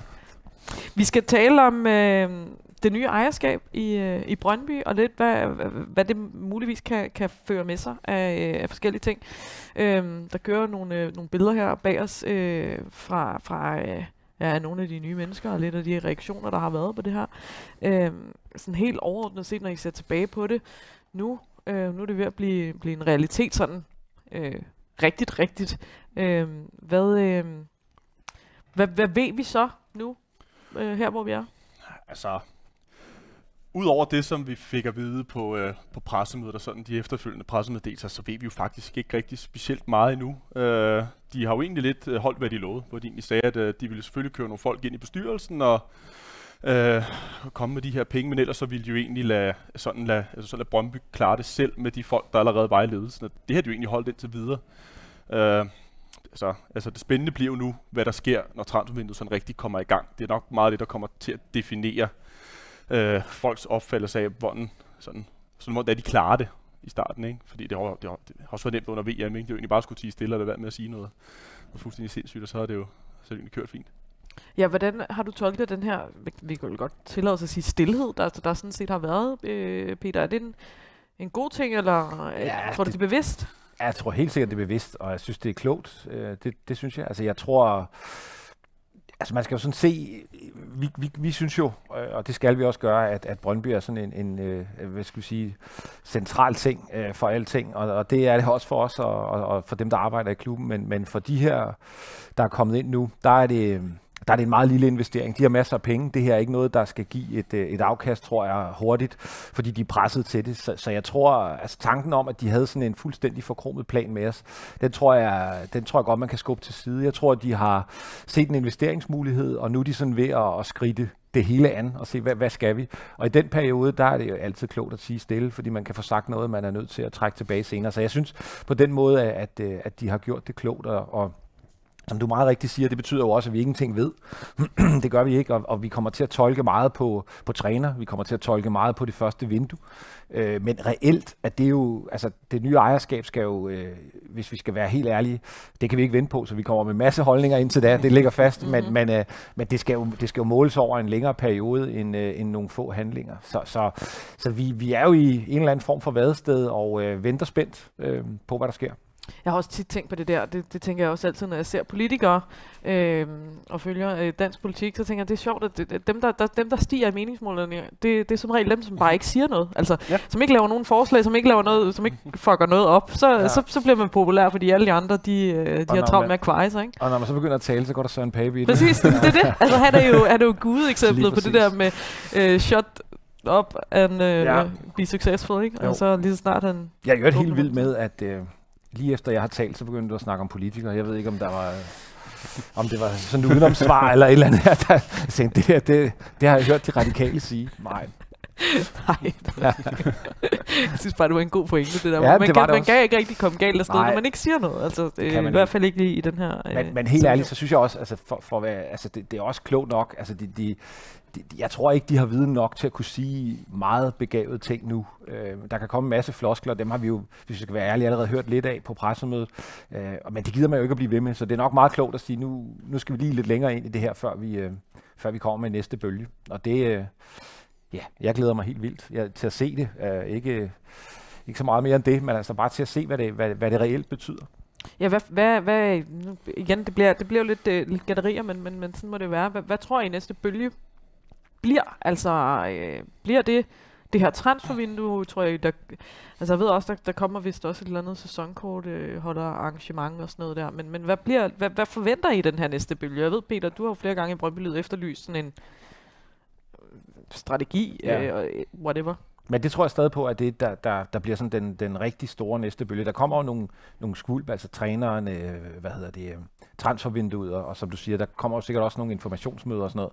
Men altså, jeg er spændt på at se, øh, om det bliver en revideret strategi eller et eller andet. Hvad, hvad vil man med klubben? Det er jo en markant øh, anderledes måde at være ejet på. Det kan man jo også se med de mennesker, de sætter ind i bestyrelsen og sådan noget. Så de må jo have nogle tanker om, hvordan skal, hvordan skal butikken køre fremadrettet. Og det, øh, det bliver, altså det, det bliver meget interessant, fordi det, det kan man jo gøre på rigtig mange måder. Og der, jeg tror, med dem, de har sat ind i, i bestyrelsen, hvis man nu vælger den positive vinkel og siger, at det er nogle kompetencer, der kan en hel masse, jamen, så har man vel idé om at sætte dem i spil også. Så, så øhm, ja, jeg glæder mig til at høre om det. Hvad er det ja. for nogle, øh, undskyld, bare lige blive ved bestyrelsen. Hvad er det for nogle kompetencer, du ser i den her bestyrelse, du kigger lidt nærmere på? på Ja, de det har jeg. Og, altså, der er jo for eksempel, øh, der er jo for eksempel en rigtig dygtig øh, datagud, som jeg går ud fra skal hjælpe os på det analytiske. Men så sidder der jo også en fyr, som øh, har øh, haft... Øh, det er lidt i tvivl, om han stadig er, men han har i hvert fald haft øh, noget med Madison Square Garden at gøre. Hvis nogen sidder og tænker, hvad der foregår der, så er der både et NBA-hold og et NHL-hold.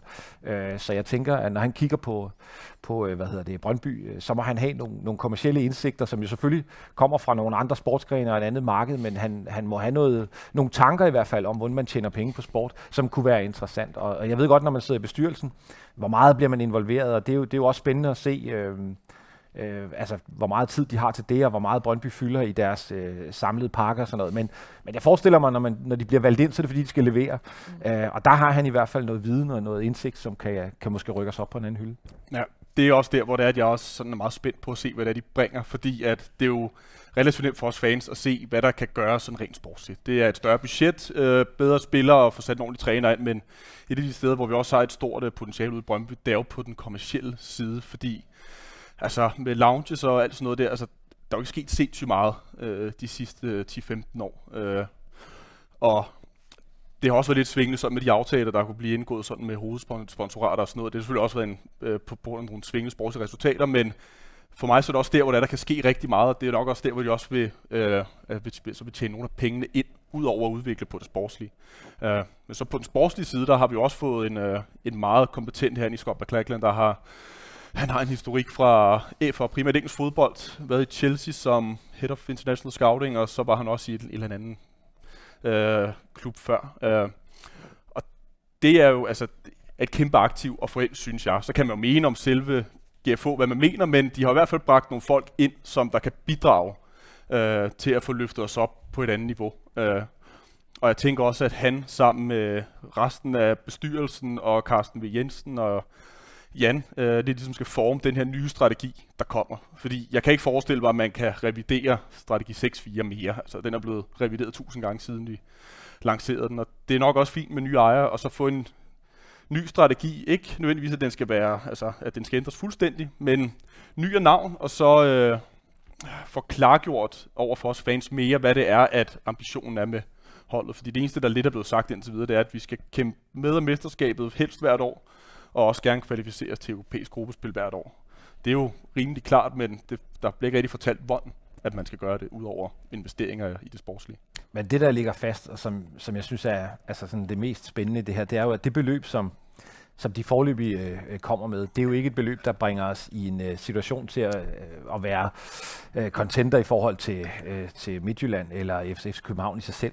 Så deres mål må være, at det er en investering til at, i, i at gøre platformen større. Og så, altså, jeg, jeg synes, Brøndby er rigtig dygtige til mange ting, også øh, kommercielt, øh, og har, har øh, også når man tager de sportslige resultater de sidste mange år i betragtning, jo egentlig ligget på et højt niveau der. Men jeg er da sikker på, at, at øh, der kommer nogle idéer ind, nogle tanker ind om, at hvordan får vi gjort den platform, vi står på, stærkere og større, sådan så at de penge, vi har investeret nu, øh, gør, at forretningen og driften bliver større i længden. For det er det, der skal bringe os op. Altså, vi, vi kan jo ikke leve af, at, øh, at der engang sådan hver 3., 4., 5. år kommer nogen og smider øh, 230 millioner ind i klubben. Det, det, det er jo ikke måden at, at, at levere en, øh, en sund klub på, hverken hverken nu eller siden. Så, så, så jeg er spændt på at se den her øh, forretningsplan, kunne vi også kalde det, for, for, for klubben. Og den, den indeholder jo mange øh, aspekter, også hele det her købsalg og sådan noget. Så det er jo ikke alene et udtryk for, at, øh, at hovedsponsoratet skal blive 10 gange så dyrt eller noget andet. Det er jo det hele, altså man, man, man skal se på, og det, det tænker jeg, at, øh, at nogle af de folk, de har smidt i bestyrelsen, øh, skal lave en plan for, og det, det kan jeg ikke forestille mig andet.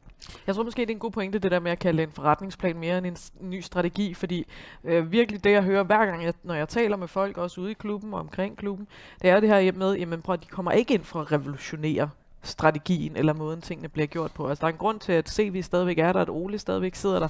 Øh, det, det, det er dem, der skal køre butikken videre. De får bare mulighed for at skifte fra, fra tredje til, til femte gear måske. Men må jeg ikke bare sige til det der, at altså, apropos politikere, det er også bare en rigtig fed en, den der. Altså, er der nogen, der reelt tror på, at amerikanere kommer med 200 millioner øh, og lægger dem på bordet og siger, prøv at høre venner, gør som I plejer. Selvfølgelig gør de ikke det. Altså, så, så hvad hedder det? De har da nogle planer og nogle tanker, men de kommer jo ikke ind og siger, øh, vi vil ikke have dig, og vi vil godt have dig. Så er de klar over, så bliver bølgerne for høje. Men selvfølgelig kigger de da på, på setup'et og hvad de kan gøre bedre. Og selvfølgelig kommer de da til at lave et eller andet. Er det revolution eller evolution? Time will tell, men selvfølgelig kommer der til at ske et eller andet. Altså, det, det, den der har jeg også hørt mange gange, jeg tænker sådan, ah, hold nu op, altså, der, sidder, der, der sidder ikke en mand i New York og tænker, hey, jeg tager lige en tur til Brøndby med en kuffert fuld med penge, og så siger jeg i øvrigt, at de bare skal løbe videre. Altså, sådan foregår det ikke. Det tror jeg ikke på. Nej, nej, selvfølgelig ikke. Altså, altså, de har det gjort sig nogle tanker, nogle planer om, øh, øh, hvordan det er, at de skal bringe os derop, hvor det er, fordi det er jo også det, vi har lært nu med de nye ejere, at de er jo kommet for at tjene nogle penge på sigt. Øh, Jeg er så rimelig sikker på, at det er med det meget lange syn på, sådan at det, jeg kan fornemme ud for det, der er blevet meldt ud indtil videre. Øh, Så tror jeg også, at det beløb, der kommer ind nu, det skal det ligesom bruges som en platform, hvor man bygger det Brøndby-hold op, og øh, den kommersielle afdeling op til, at den kan begynde at tjene penge.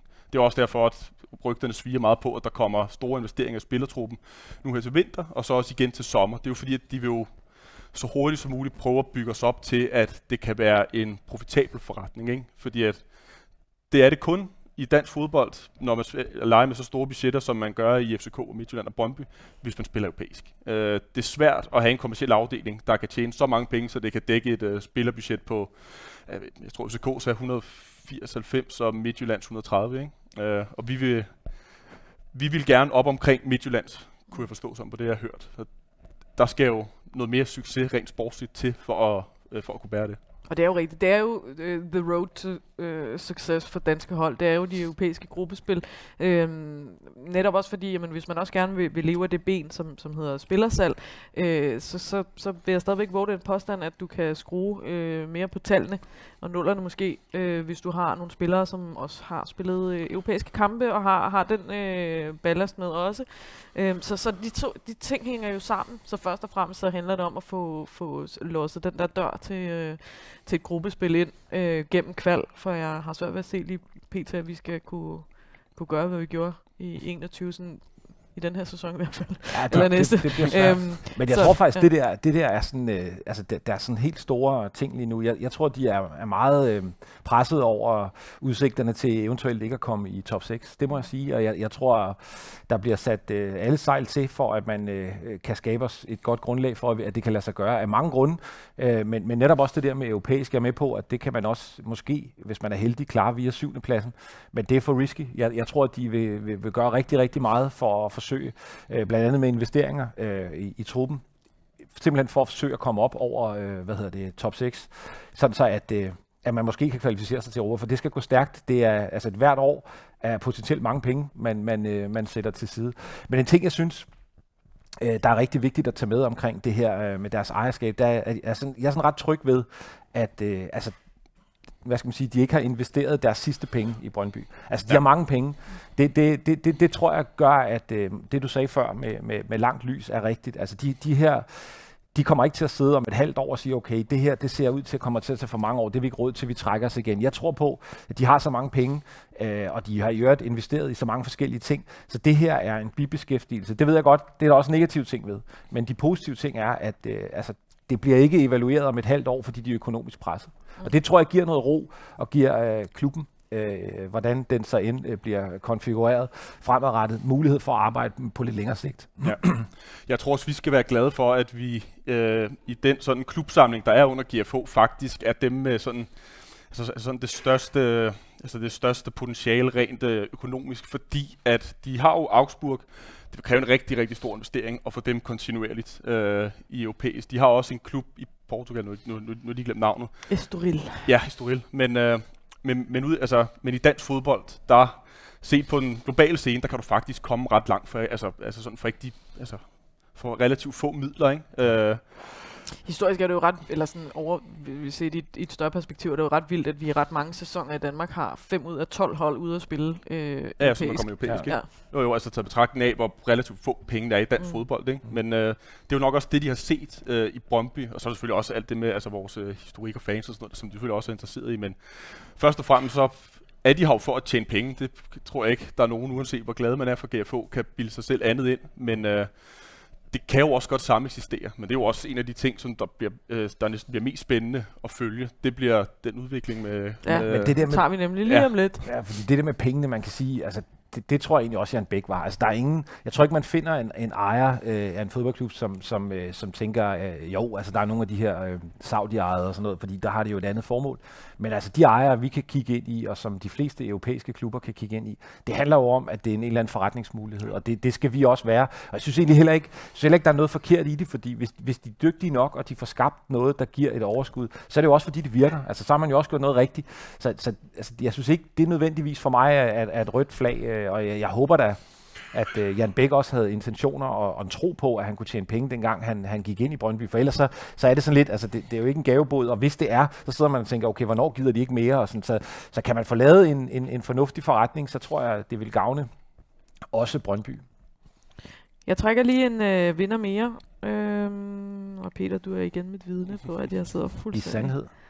Randomly her. Jeg er mere nervøs for, om du får sendt nogle sms'er til nogen, eller et eller andet. Ja, det, det, det er rimelig hæftigt, det der. Og sådan lukker jeg også øjnene.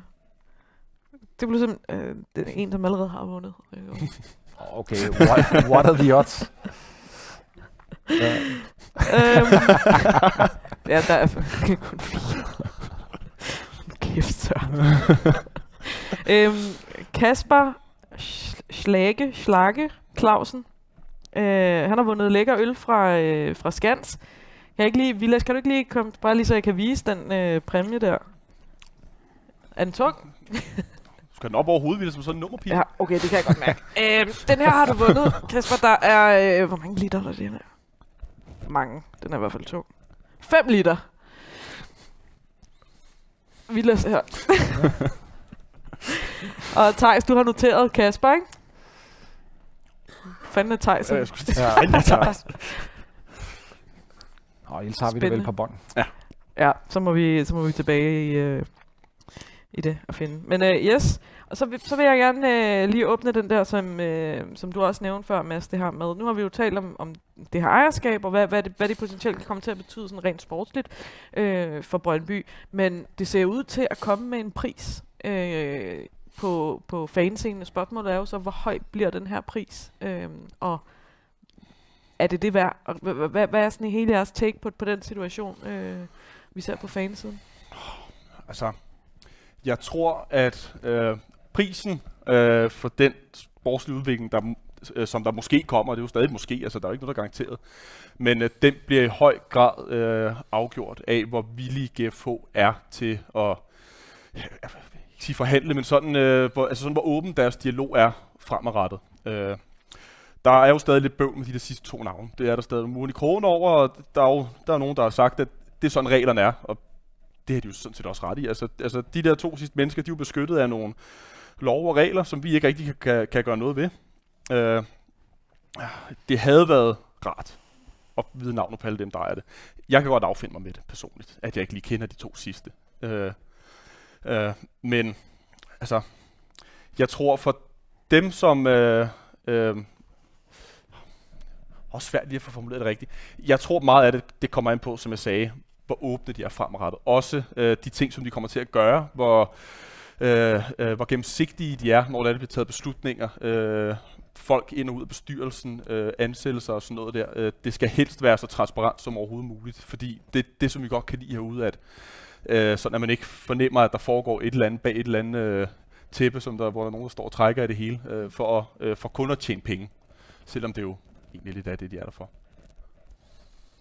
Jeg synes, det er svært. Altså, det, det må jeg sige. Det, det er jo en... Øh, altså, på en eller anden måde, så har vi jo, så har vi jo haft sådan en, en behagelig øh, sovepude med Jan Bæk som ejer, fordi Altså hvis man kigger sådan meget firkantet på det, er det sundt, at en person ejer klubben? Nej, det er det ikke. Øh, hvad skulle vi gøre, hvis han ikke var der?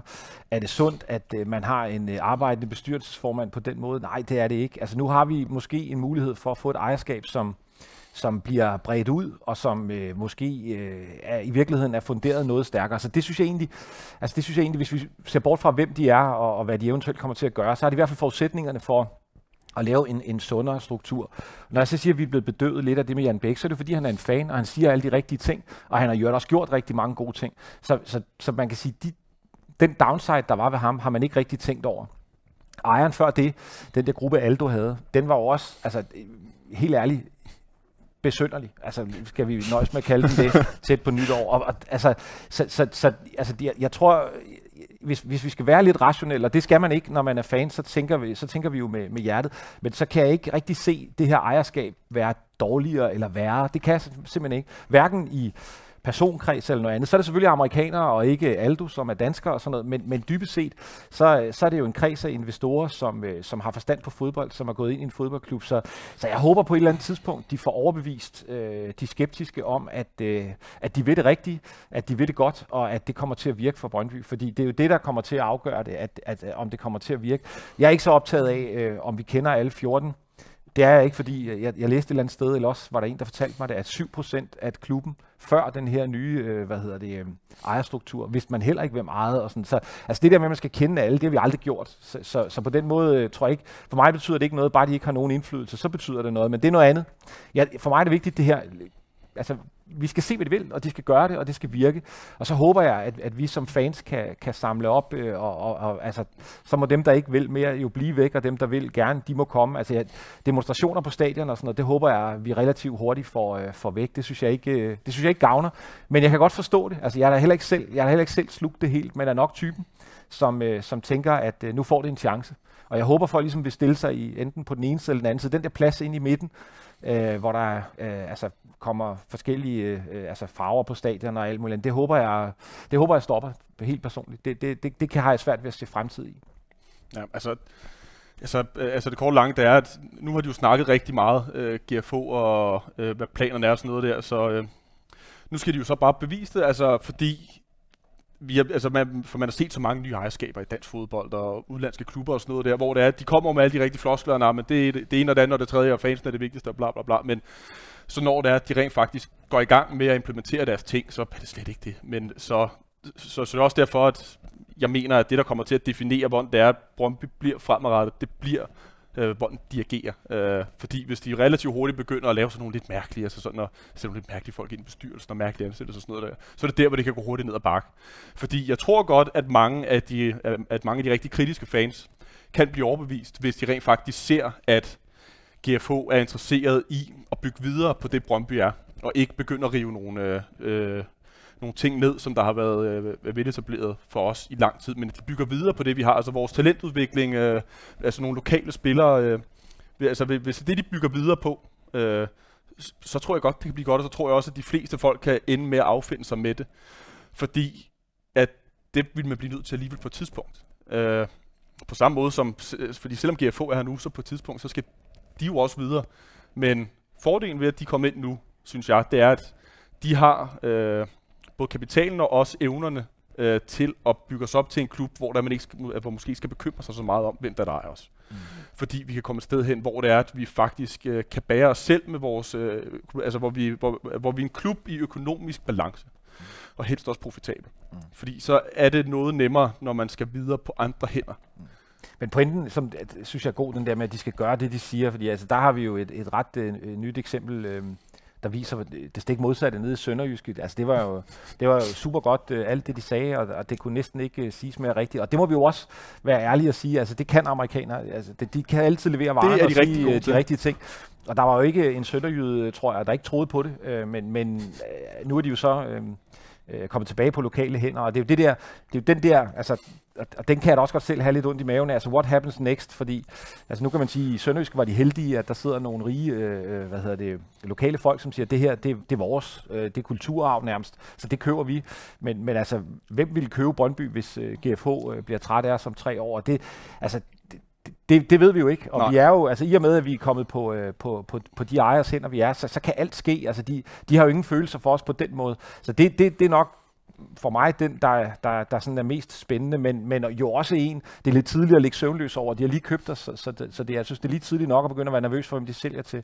Men det er, altså vi er nu øh, sådan ude i det åbne marked, ikke? Øh, det, det, må, det må vi sige. Og derfor er det jo også vigtigt, at de får succes. Det er vigtigt for os øh, som, som klub og som fans, men, men, men det er også vigtigt, at, at, altså, at de får glæde af det, så de bliver et stykke tid, hvis det er godt, det de gør. Sådan så, at, at de får noget, øh, altså noget glæde ved klubben og kan se værdi i den. Fordi det, det værste, jeg kan se, det er det her med, hvis vi bliver sådan en... Altså, hvor de ikke rigtig kan forløse potentialet, og efter et par år siger, okay, vi sælger det til whoever uh, wants it, og så kan vi sådan begynde. Fordi så kommer vi som, uh, som klub til at lide, men, men, men altså, som sagt, altså det, det, vil jeg, det synes jeg, man skal vente lidt med at ligge søvnløs over, fordi nu er handlen igennem, og nu må vi jo så håbe, at, uh, at, at uh, det bliver den positive mølle, der bliver sat i gang, og ikke den negative. Jeg trækker lige et par vinder mere, fordi vi har flere, øh, vi har flere præmier her. De fire der, de får bare mange gaver. øhm, der var nogen, der var taget der.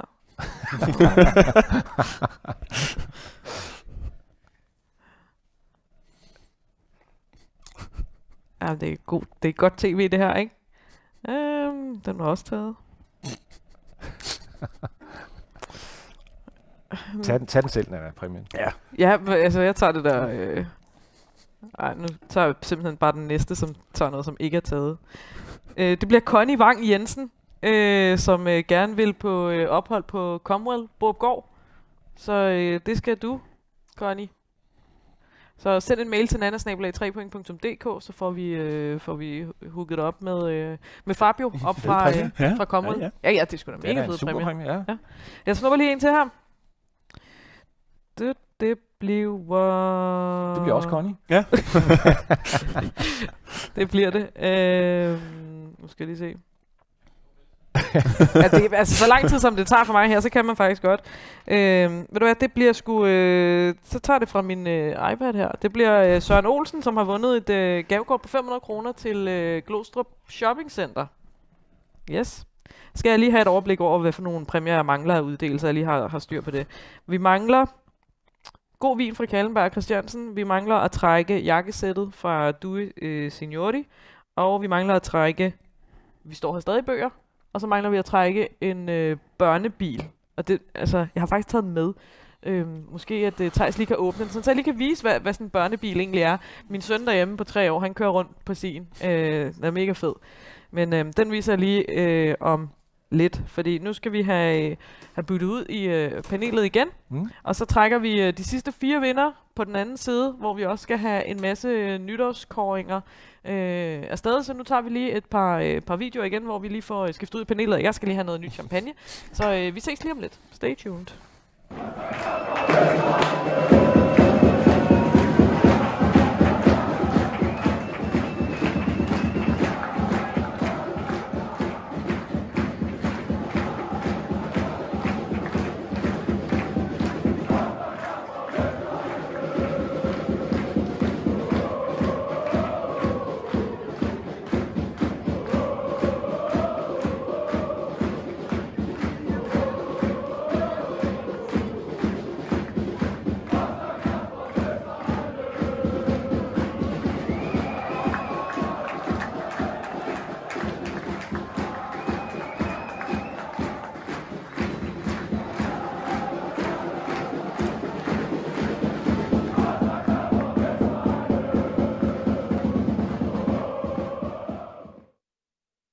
Vi var deltid, ikke? Øh, Jeg arbejdede på det tidspunkt, tror jeg, inden jeg blev fuldtid i Brøndby arbejde, har jeg både arbejdet med at køre pizzaer ud og på min knaller, på min Pugmaxi og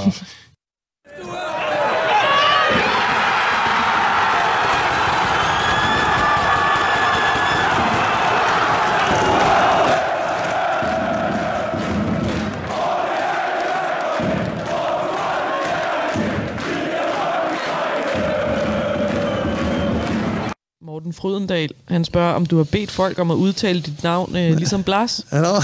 nej, nej det, øh, den, har han, øh, den har han rådret over dernede, øh, min gode ven øh, Amigo der. Så, øh, så ja, det, det, har jeg ikke, det har jeg ikke bedt folk om endnu. Øh, men det, det, kan være, det, det kan være, det kommer på et eller andet tidspunkt. Men, men i virkeligheden... navneopråb men på i på virkeligheden er det- søndag, hvor alle skal ja, Greve, ja, øh, nej, den, øh, den, den, den holder vi til, øh, til, at han kører. Nej, nej, nej. Ja, øh, nu begynder jeg at mærke panikken brede sig. Det har været rigtig skidt, når man ikke har sit gavekort med. Nu går jeg i panik. Det gik sgu ikke så godt.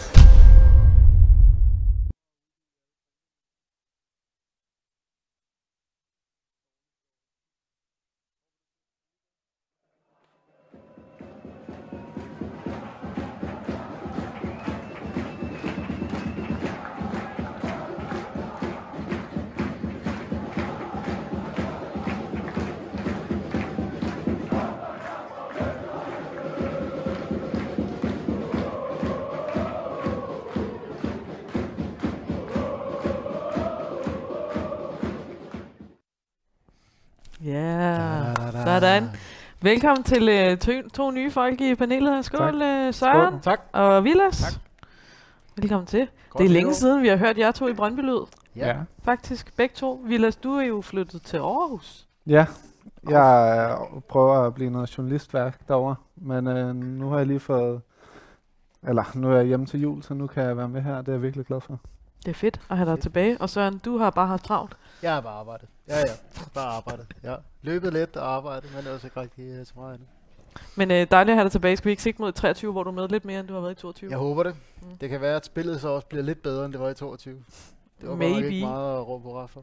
Men prøv lige at se bag jer, fordi nu kører der altså fuld blow øh, fyrværkeri. Nu øh, nærmer vi os nytårsaften, ikke? Vi er i hvert fald øh, snart to timer tættere på, end vi var, da vi startede det her live show.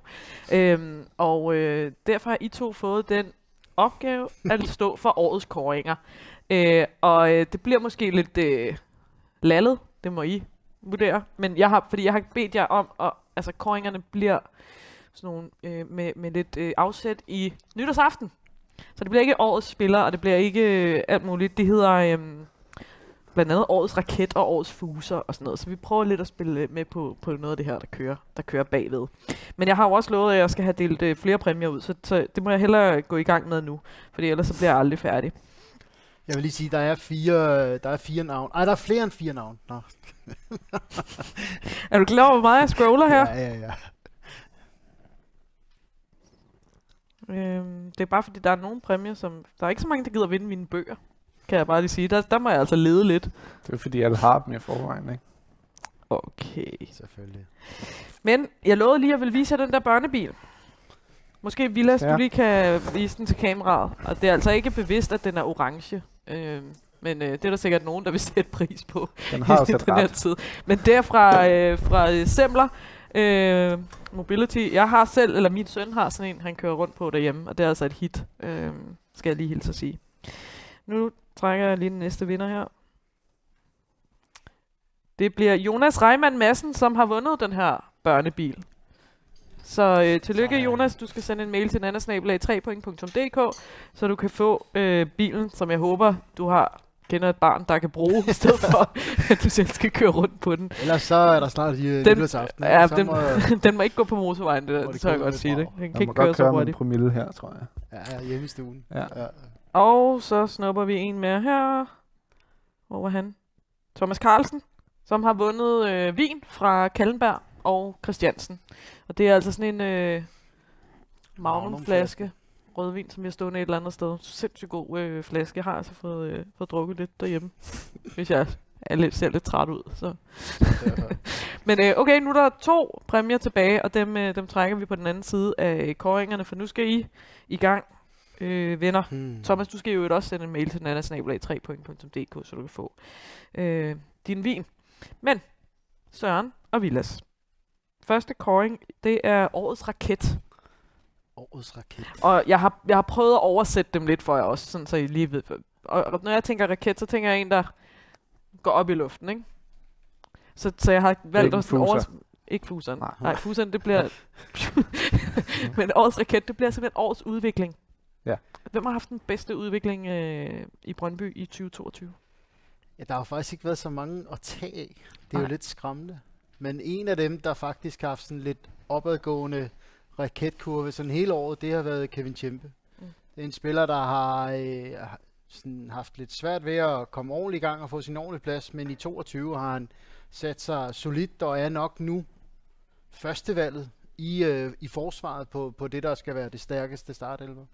Så det er, det er mit bud. Ja, altså jeg havde også Kevin Tjempe Mm. inde i hovedet. Men der er også, det er svært at komme udenom Oscar Schwarzau. Det er, ligesom, det er meget øh, 0-100 meget hurtigt. Um, det kan man i hvert fald kalde noget af en udvikling. Og det er også gået stærkt. Um, men det er jo ikke på samme måde uh, hen over et helt år, måske. Den ene raket er fløjet lidt længere end den anden. Ja. Ja, den ene raket kan du øh, bygge et, et lidt større fest ud af, øh, end, end du kan på Svartsav endnu, øh, synes jeg måske. Jeg synes, øh, Kevin har vist sig at være en, en øh, de første på holdkortet, hvor at, øh, at Svartsav forhåbentlig bliver det. Ja, men uh, det kan vi godt blive enige om, synes jeg. er der et, øh, ja. Så årets raket, og det er jo altid det, der er svært, når, når man sidder og laver koringer ved, det det. ved årsskiftet, fordi man jo egentlig sidder og vurderer på baggrund af to øh, forskellige sæsoner. Mm. Men man må bare sige, øh, fællestrækket for de her to sæsoner er, at det har været jævnt dårligt. Ja. Øh, Både det var dårligt i foråret, og det har været øh, det også relativt dårligt i efteråret. Og noget af det andet, der er også med det her, det er jo, at man, man, man har nogle ting, man selv rater ud fra. Mm.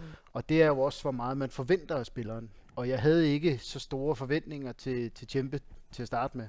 Fordi at det, det var jo sådan noget, altså, det var jo fra, fra altså, super, super forsvarsspiller til helt ned i kulkælderen over en eller anden fejlaflevering op gennem midten, der, der førte til et kontramål. Ikke? Så ja, jeg synes, han har oversteget forventningerne øh, meget. Mm.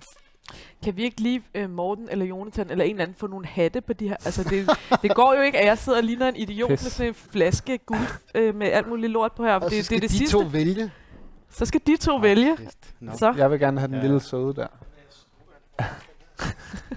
Må jeg stille den på? Det bliver så godt. Ja, prøv her, det bliver nødt til at være lidt... Det er jeg glad for. Ikke? Nu har I, I har fået øh, hyggeformatet her. Ja. Den næste, det er så årets fuser, og, og det er jo så... Øh, ja, måske en af dem, man havde store forventninger til, som vi bare ikke har fået øh, det fra, som vi gerne ville. Det er jo desværre nok øh, den kategori, hvor der er flest kandidater. Ja, der er mange. Det er ikke så godt. Nej. Men øh, der har været rigtig mange. Jeg kan sådan nævne, du ved, hvad jeg havde af, af grove tanker op i hovedet, så var det jo en, en desværre en Hænger Hækkeheim, som er, er gået ned ad bakke. Det kan være en anfører, der ikke har leveret. Det kan være en træner, der ikke har fået nok ud af holdet. Det kan være en, en Rado, jeg synes slet ikke har levet op til, til det, han skal som værende. Ja, nu har han været anført det sidste stykke tid. Det kan være en, en Anis, der har så mange øh, muligheder og, og ting, øh, der ligesom peger i den rigtige retning i hans spil, som bare ikke er blevet forløst på nogen måde. Det kan være en, en af, af de nye, der er blevet købt ind til forholdsvis okay med penge i Norge, en, en, en, en Bell eller en Sebulonsen, der bare på ingen måde har sat deres aftryk på holdet. Jeg synes også, øh, et bud af Mathias Kvistgaard, som virkelig nåede at komme godt i gang. Ja. Og det var altså i sommer, der skulle alle bare bede om en Mathias Kvistgaard trøje. Ja. Og det har ikke været, det har ikke været helt det samme her øh, i den nye sæson. Der har ikke været mange flikflakker. Nej, så der kan man sige, der er, han var så god i den sidste halvsæson. Det har lidt ramt ham i røven nu. Ja. Um, hvor forventningerne måske har været det højere. Jeg er egentlig gået med Anis, og det er lidt det der med, at det er, det er den spiller, man ser det største lys i, ja. øh, når han rammer sine toppræstationer, når han rammer sine øh, få magiske øjeblikke, hvor han sætter en, en, en mand med hoften og spiller en angriber helt blank for mål. Øh, det, har været, det har været de der ting, man har savnet fra ham, at han skulle fortsætte. Og øh, ja, det har været en spiller, der har været stort set uden for holdet hele efteråret jo, Ja. øh, og kun er kommet lidt tilbage til sidst. Så det er egentlig, det er egentlig Du, min øh, fuser. Ja, hvem, har du, øh, Vilas? Mm, altså, jeg, jeg tror, jeg tror mere, jeg ser, at Anis godt kan komme i gang igen, hvor der er sådan en som Heckheim, der har jeg lidt, øh, lidt svært ved at se det der store, flotte bang, hvornår det kommer. Den virker lidt mere død. Um, så jeg ville have nok sagt Heckheim, mm. Men uh, Anis var der også en, jeg tænkte over, uh, da jeg skulle lave den her liste. Hekam er jo også en fuser, men er det en, en spiller, som, som har bare ramt et lille formdyk på grund af en, en, altså en lidt yngre alder? Øh, Ani tager langt flere kampe på banen, og burde man kunne forvente skulle tage det næste skridt, synes jeg. Øh, men altså, de er desværre begge to på listen. Ja, I har ret i, at der, der har været flere kandidater på, øh, på, på fuseren end på, øh, på Mm. raketten i hvert fald. Så er jeg spændt på, hvad I øh, siger til den næste, som er øh, årets knaldperle. Og det, øh, ja, det bliver så årets humørbombe. Eller anden. Ja. Så lidt sjov i gaden. Lige at fyre nogle knaldperler ned foran øh, under modden hos øh, naboen, eller Den er lidt federe ved bildækkene. Ikke? Hvem, Ja. hvem, hvem kan vi have der? Altså, jeg, det første, jeg Hvem har tænkte, givet noget af sig selv på en eller anden måde? det synes jeg er Ohi. Og med hans fantastiske Instagram stories. Det er virkelig, virkelig sjovt at følge med i. Øh, med øh, spillerne hjem og hjælpe med IKEA-møbler og Faxe Kondi. Og han får også lige øh, Rado på video der, der går helt amok ved VM. Og Og for lige outet Vas, og han ikke kan score mål, øh, fordi han har scoret i FIFA. Og, Ja, ja. han, Jo, så er han bare ærlig. han, tager ingen, han tager ingen gisler. altså, der er jo ikke noget filter. Han er jo bare, som han er, og også når han er ked af det. Så, så ryger det jo også ud til, til de sociale medier. Så det var også helt klart mit, mit første valg. Altså, det er bare en, en mand, der altid har et smil på. Han er bare glad. Nu spørger jeg lige teknikken deroppe, om, om vi kan få, øh, få videoen med, øh, med Ohi på, som vi har kørt øh, en gang tidligere. Ja, det kan vi godt, fordi så, så lad os da lige øh, Ja, tage den ja. og få vores øh, årets knaldperle her. Hvor er det vildt ikke at have sådan en spiller, der bare går ind og leverer fra dag i dag på så mange parametre. En ting er, at han er blevet efterårs topscorer, men, øh, men det er jo også bare en spiller, der er gået ind og taget truppen med storm. Mm. Altså, han er jo blevet et samlepunkt ret hurtigt. Også Det er for meget- fansene på Ja, en eller det er anden meget måde. sådan, ja. Glem aldrig over i Horsens, da han står og danser til sin spillersang første gang, han får den. Ikke? Og så tænker man bare allerede, okay, ham der, han, ham skal vi nok blive glade for. Han Lad os li- lige se, om videoen ikke øh, kan komme på. Anthony Ujah eller Erling Haaland? Nej, desværre. Erling, Erling Haaland. To assist eller et mål? To assist. Hovedstød eller helflugter? Hvad? Hvordan siger man helflugter på norsk? Uh, volley. Ja. Okay. Ja, ja, ja. Okay, jeg. Hovedstød eller first time? Nei, men hva er det første? Helflugter. Helt Å, hodet, ja? Ja, hovedstød. Da. Jeg tror godt, det var nummer to. Nei, volley, Ja, volley. Okay. Ja, hode eller bein? Nei, bein. Hode. Volley, volley, volley. Playstation eller se en film? PlayStation. Genpres eller possession? PlayStation. Salsa eller disco? Salsa. Hygge med familien eller ude med vennerne? Åh! Nei, hygge med familien. Pepsi eller Faxe Kondi? Kondi, of course. Hvad er der med den der Kondi? Vet ikke, den var utrolig Havde du aldrig smagt den, eller hvad? Jo, jeg har smagt Nå. Jamen, var det første gang? Det var første gang, ja. ja. Og du var bare in love? Ja, ja, den er helt vild. jeg vet ikke hvorfor, men den var, den var, den, den var så god. Jeg vet ikke hvorfor, men uh, mye bedre enn Pepsi i hvert fall. Taylor Swift eller Beyoncé? Beyoncé. No doubt. Thank you. No doubt. No doubt. Og øh, fik vi lige lidt, øh, lidt humør på her. Tak til, øh, til Ohi for det. Det næste, I Ja, skal... det er godt nok svært ikke at blive glad, når man ser Ja, ham. er det ikke det? Og Ja. hold op, Også en mand. flot mand, vil jeg have lov at sige. Han sidder Sådan. bare og hygger, og sådan der er han altså bare Ja. øh, nærmest altid af mit indtryk. Ja. Øhm, så, så forhåbentlig har han gjort noget godt for det der Er omklædningsrum. det en af de, øh, der er, sådan, er meget få kandidater til, eller havde du andre? Altså, jeg, jeg tænkte også lidt på Tjempe faktisk igen. Jeg synes, Ja. ja. han, er, jeg synes han er ret grineren. Der er et over det der sådan helt tørre ved ham. Bare nogle af de der videoer, der også har været på Brøndby TV, hvor han vader rundt i bar mave og den der dumme hat. Og Apropos- Det er sådan skal du være, sød med den hat der, Hvad som han har fået af mig. Ja, det er en flot hat. Ja. Men bare sådan den der lidt hovne tilgang, jeg synes virkelig, han er sjov. Ja, ja. Og så er der jo altid, nu har han jo desværre været lidt ude af rampelyset her i år, men ellers vil- plejer Kevin Mensah også at være en stærk Ja. contender Ja. ja. til, til den titel der. Kvistgården er vel også... Kvistgården er også, Cave. ja. Bombe. Ja. Ja. Det næste, I skal svare på, det, er, øh, det har jeg valgt at kalde øh, årets øh, mesterskabsshow. Og det er fordi, at det vi ser her bagved, det er et øh, mesterskabsfyrværkerishow, så det er ligesom, altså det bliver ikke bedre end det. Så, så det er jo selvfølgelig årets spiller, Mm. vi skal tale om her. Jamen, det kan jo ikke være andre end Mads. Nej. Altså, det synes jeg ikke. Jeg synes, øh, de tre nye har, har gjort en voldsom impact for day one, men Mads har gjort det hele året, og han gør det i hver kamp. Og i, i hver kamp ser man bare, at han har et niveau, der er, er langt højere end, end Superligaen, så det bliver spændende at se, hvad for en klub, der en eller anden dag får glæde af ham. Ja, jeg synes, det er svært, når det var ligesom hele året, så er det svært at tage ham med Ja, ja. i virkeligheden. Ja. Jeg kunne ikke se, hvem det ellers skulle Nej. være. Sindssygt, ikke? Ja. Sådan en lille knægt har vi bare opfostret, ikke? Lille Mads Hermansen fra øh, Næsby. Ja. Øhm, men øh, ja, og han blev jo også valgt til årets spiller af, af de frivillige, så øhm, ja, den er måske ikke helt skæv. Ej, den er, ja. Tillykke til Mads. Tillykke til Mads. Så har vi øh, årets sikkerhedsbrille. ja, den er. Den er lidt åndssvag, men jeg prøvede ligesom, at jeg kunne ikke rigtig... Årets forsvarsspiller. Lidt søgt, ikke? Men, Ja, den er lidt søgt. Den er lidt... Sådan en, der falder lidt til jorden, når man så sidder og skal udføre den live. Og jeg sad, sad derhjemme og tænkte, ja, Jamen altså, jeg... jeg den er dårlig. Ja, det er også lidt det, altså.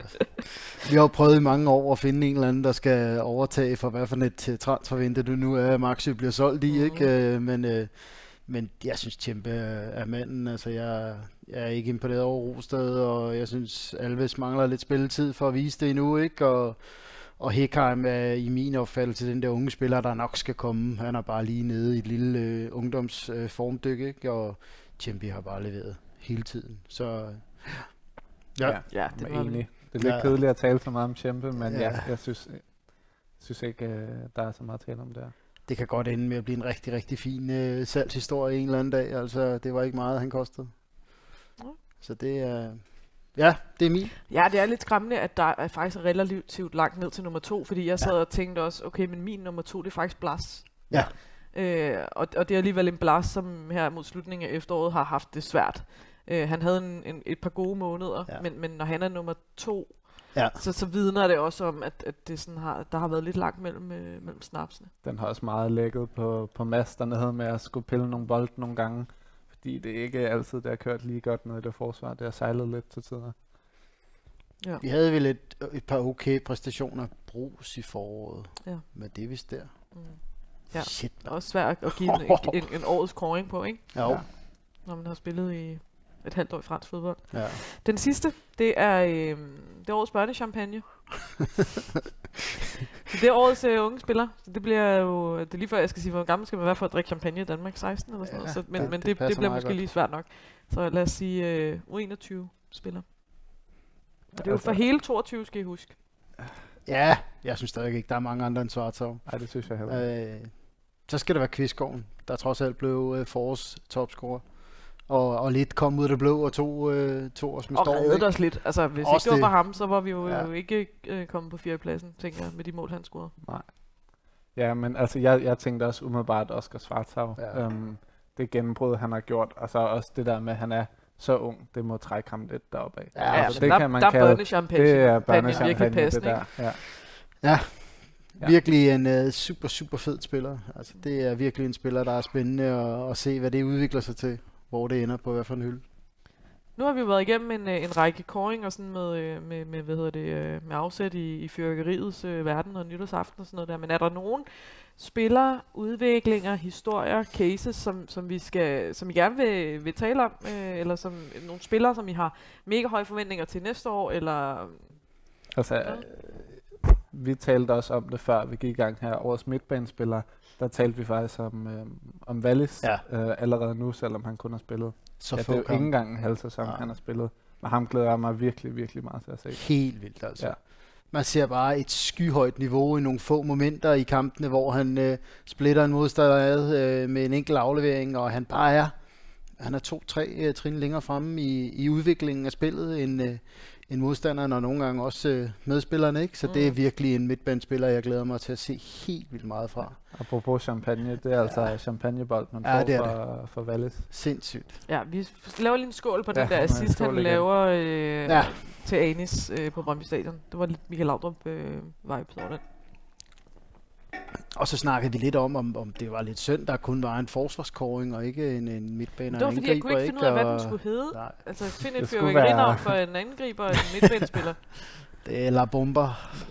Årets batteri, det kunne Ja. være midtbanespilleren, Ja. faktisk. Årets batteri, ja. mm, det er jo mere sådan en spiller, der, der bare øh, non-stop leverer igen og igen og i lang tid. Og, ja. Den er godt nok også svær at finde. Jeg synes, Greve har taget trin til det, men jeg synes stadig, der er, langt op til den greve, der præsterede super godt i Randers, og langt op til en, en 8 i Brøndby med, med nogle tal, der også øh, berettiger, at der burde være flere mål og flere sits og flere...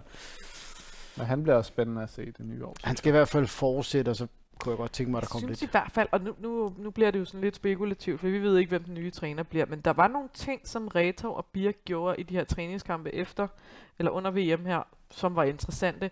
Jeg synes, og det, det bliver spændende at følge begge to, men at vi begyndte at spille med to sekser, hvor mm. Joe Bell var den ene, og Mathias Greve var den anden.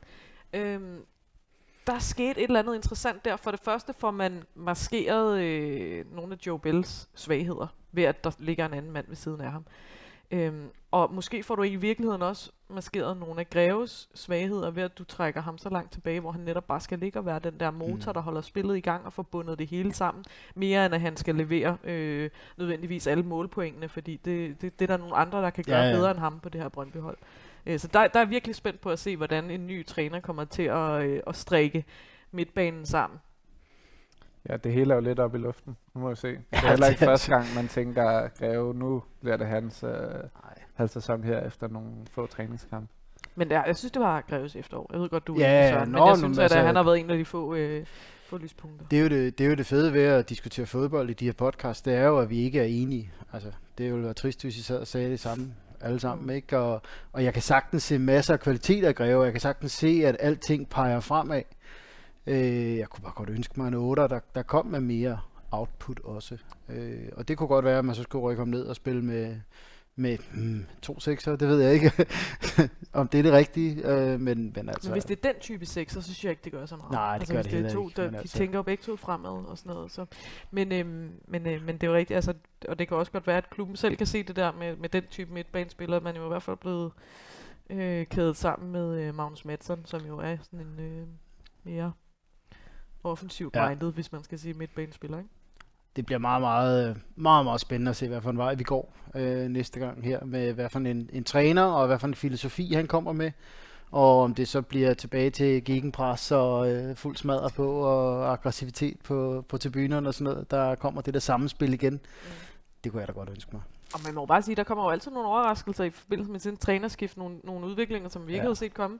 Øh, kan du huske, da Sorniger kom til, der var der mange spillere, der blev dømt ude, som lige pludselig øh, blomstrede op. Andrew Jules her, som blev en kæmpe profil. Øh, Kamil Vilcek, øh, som, som ingen havde regnet med i, Svend i den her Krone, spil. Frederik Holst. Svend Krone, Frederik Holst. Altså, så, så hvem ved, det kan være, at når vi sidder her om et år igen, at så taler vi om Marko Mm. Divkovic og Karl Bjørk. Altså, Ja. who knows? Michael Øh, Lure er jo også et øh, okay eksempel, ikke? Ja, altså, det så, øh, så det, det, det er svært at forudsige.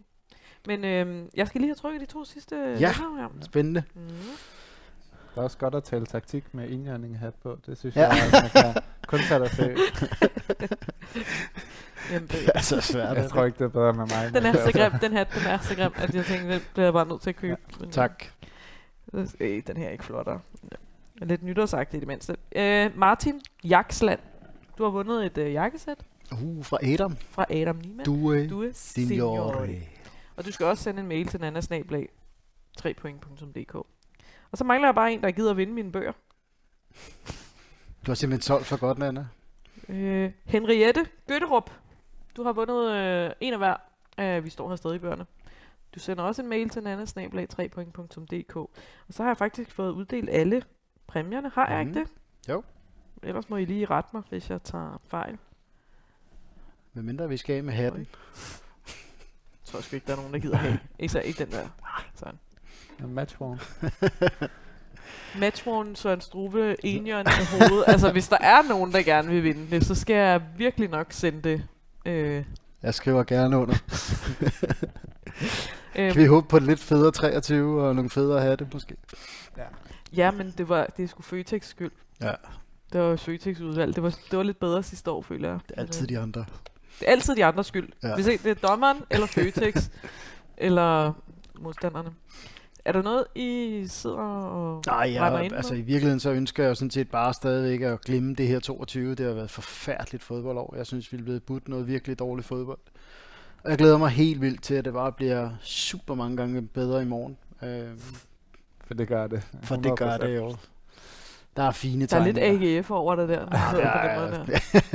Næste Altså, år, det jo- næste år. Statistikken siger jo, at det er det dårligste fodbold, vi har set i 10 år. Altså, vi har aldrig fået så få point i 10 år. Så Er det ikke rigtigt? Er det den, vi, er vi er tilbage til den, der er næsten nede Ja, der ramte vi ikke? øh, 1,0 et eller andet, 2-3 stykker, øh, og i år rammer vi 1,2 på kalenderåret 22, ikke? så det er jo er horribelt.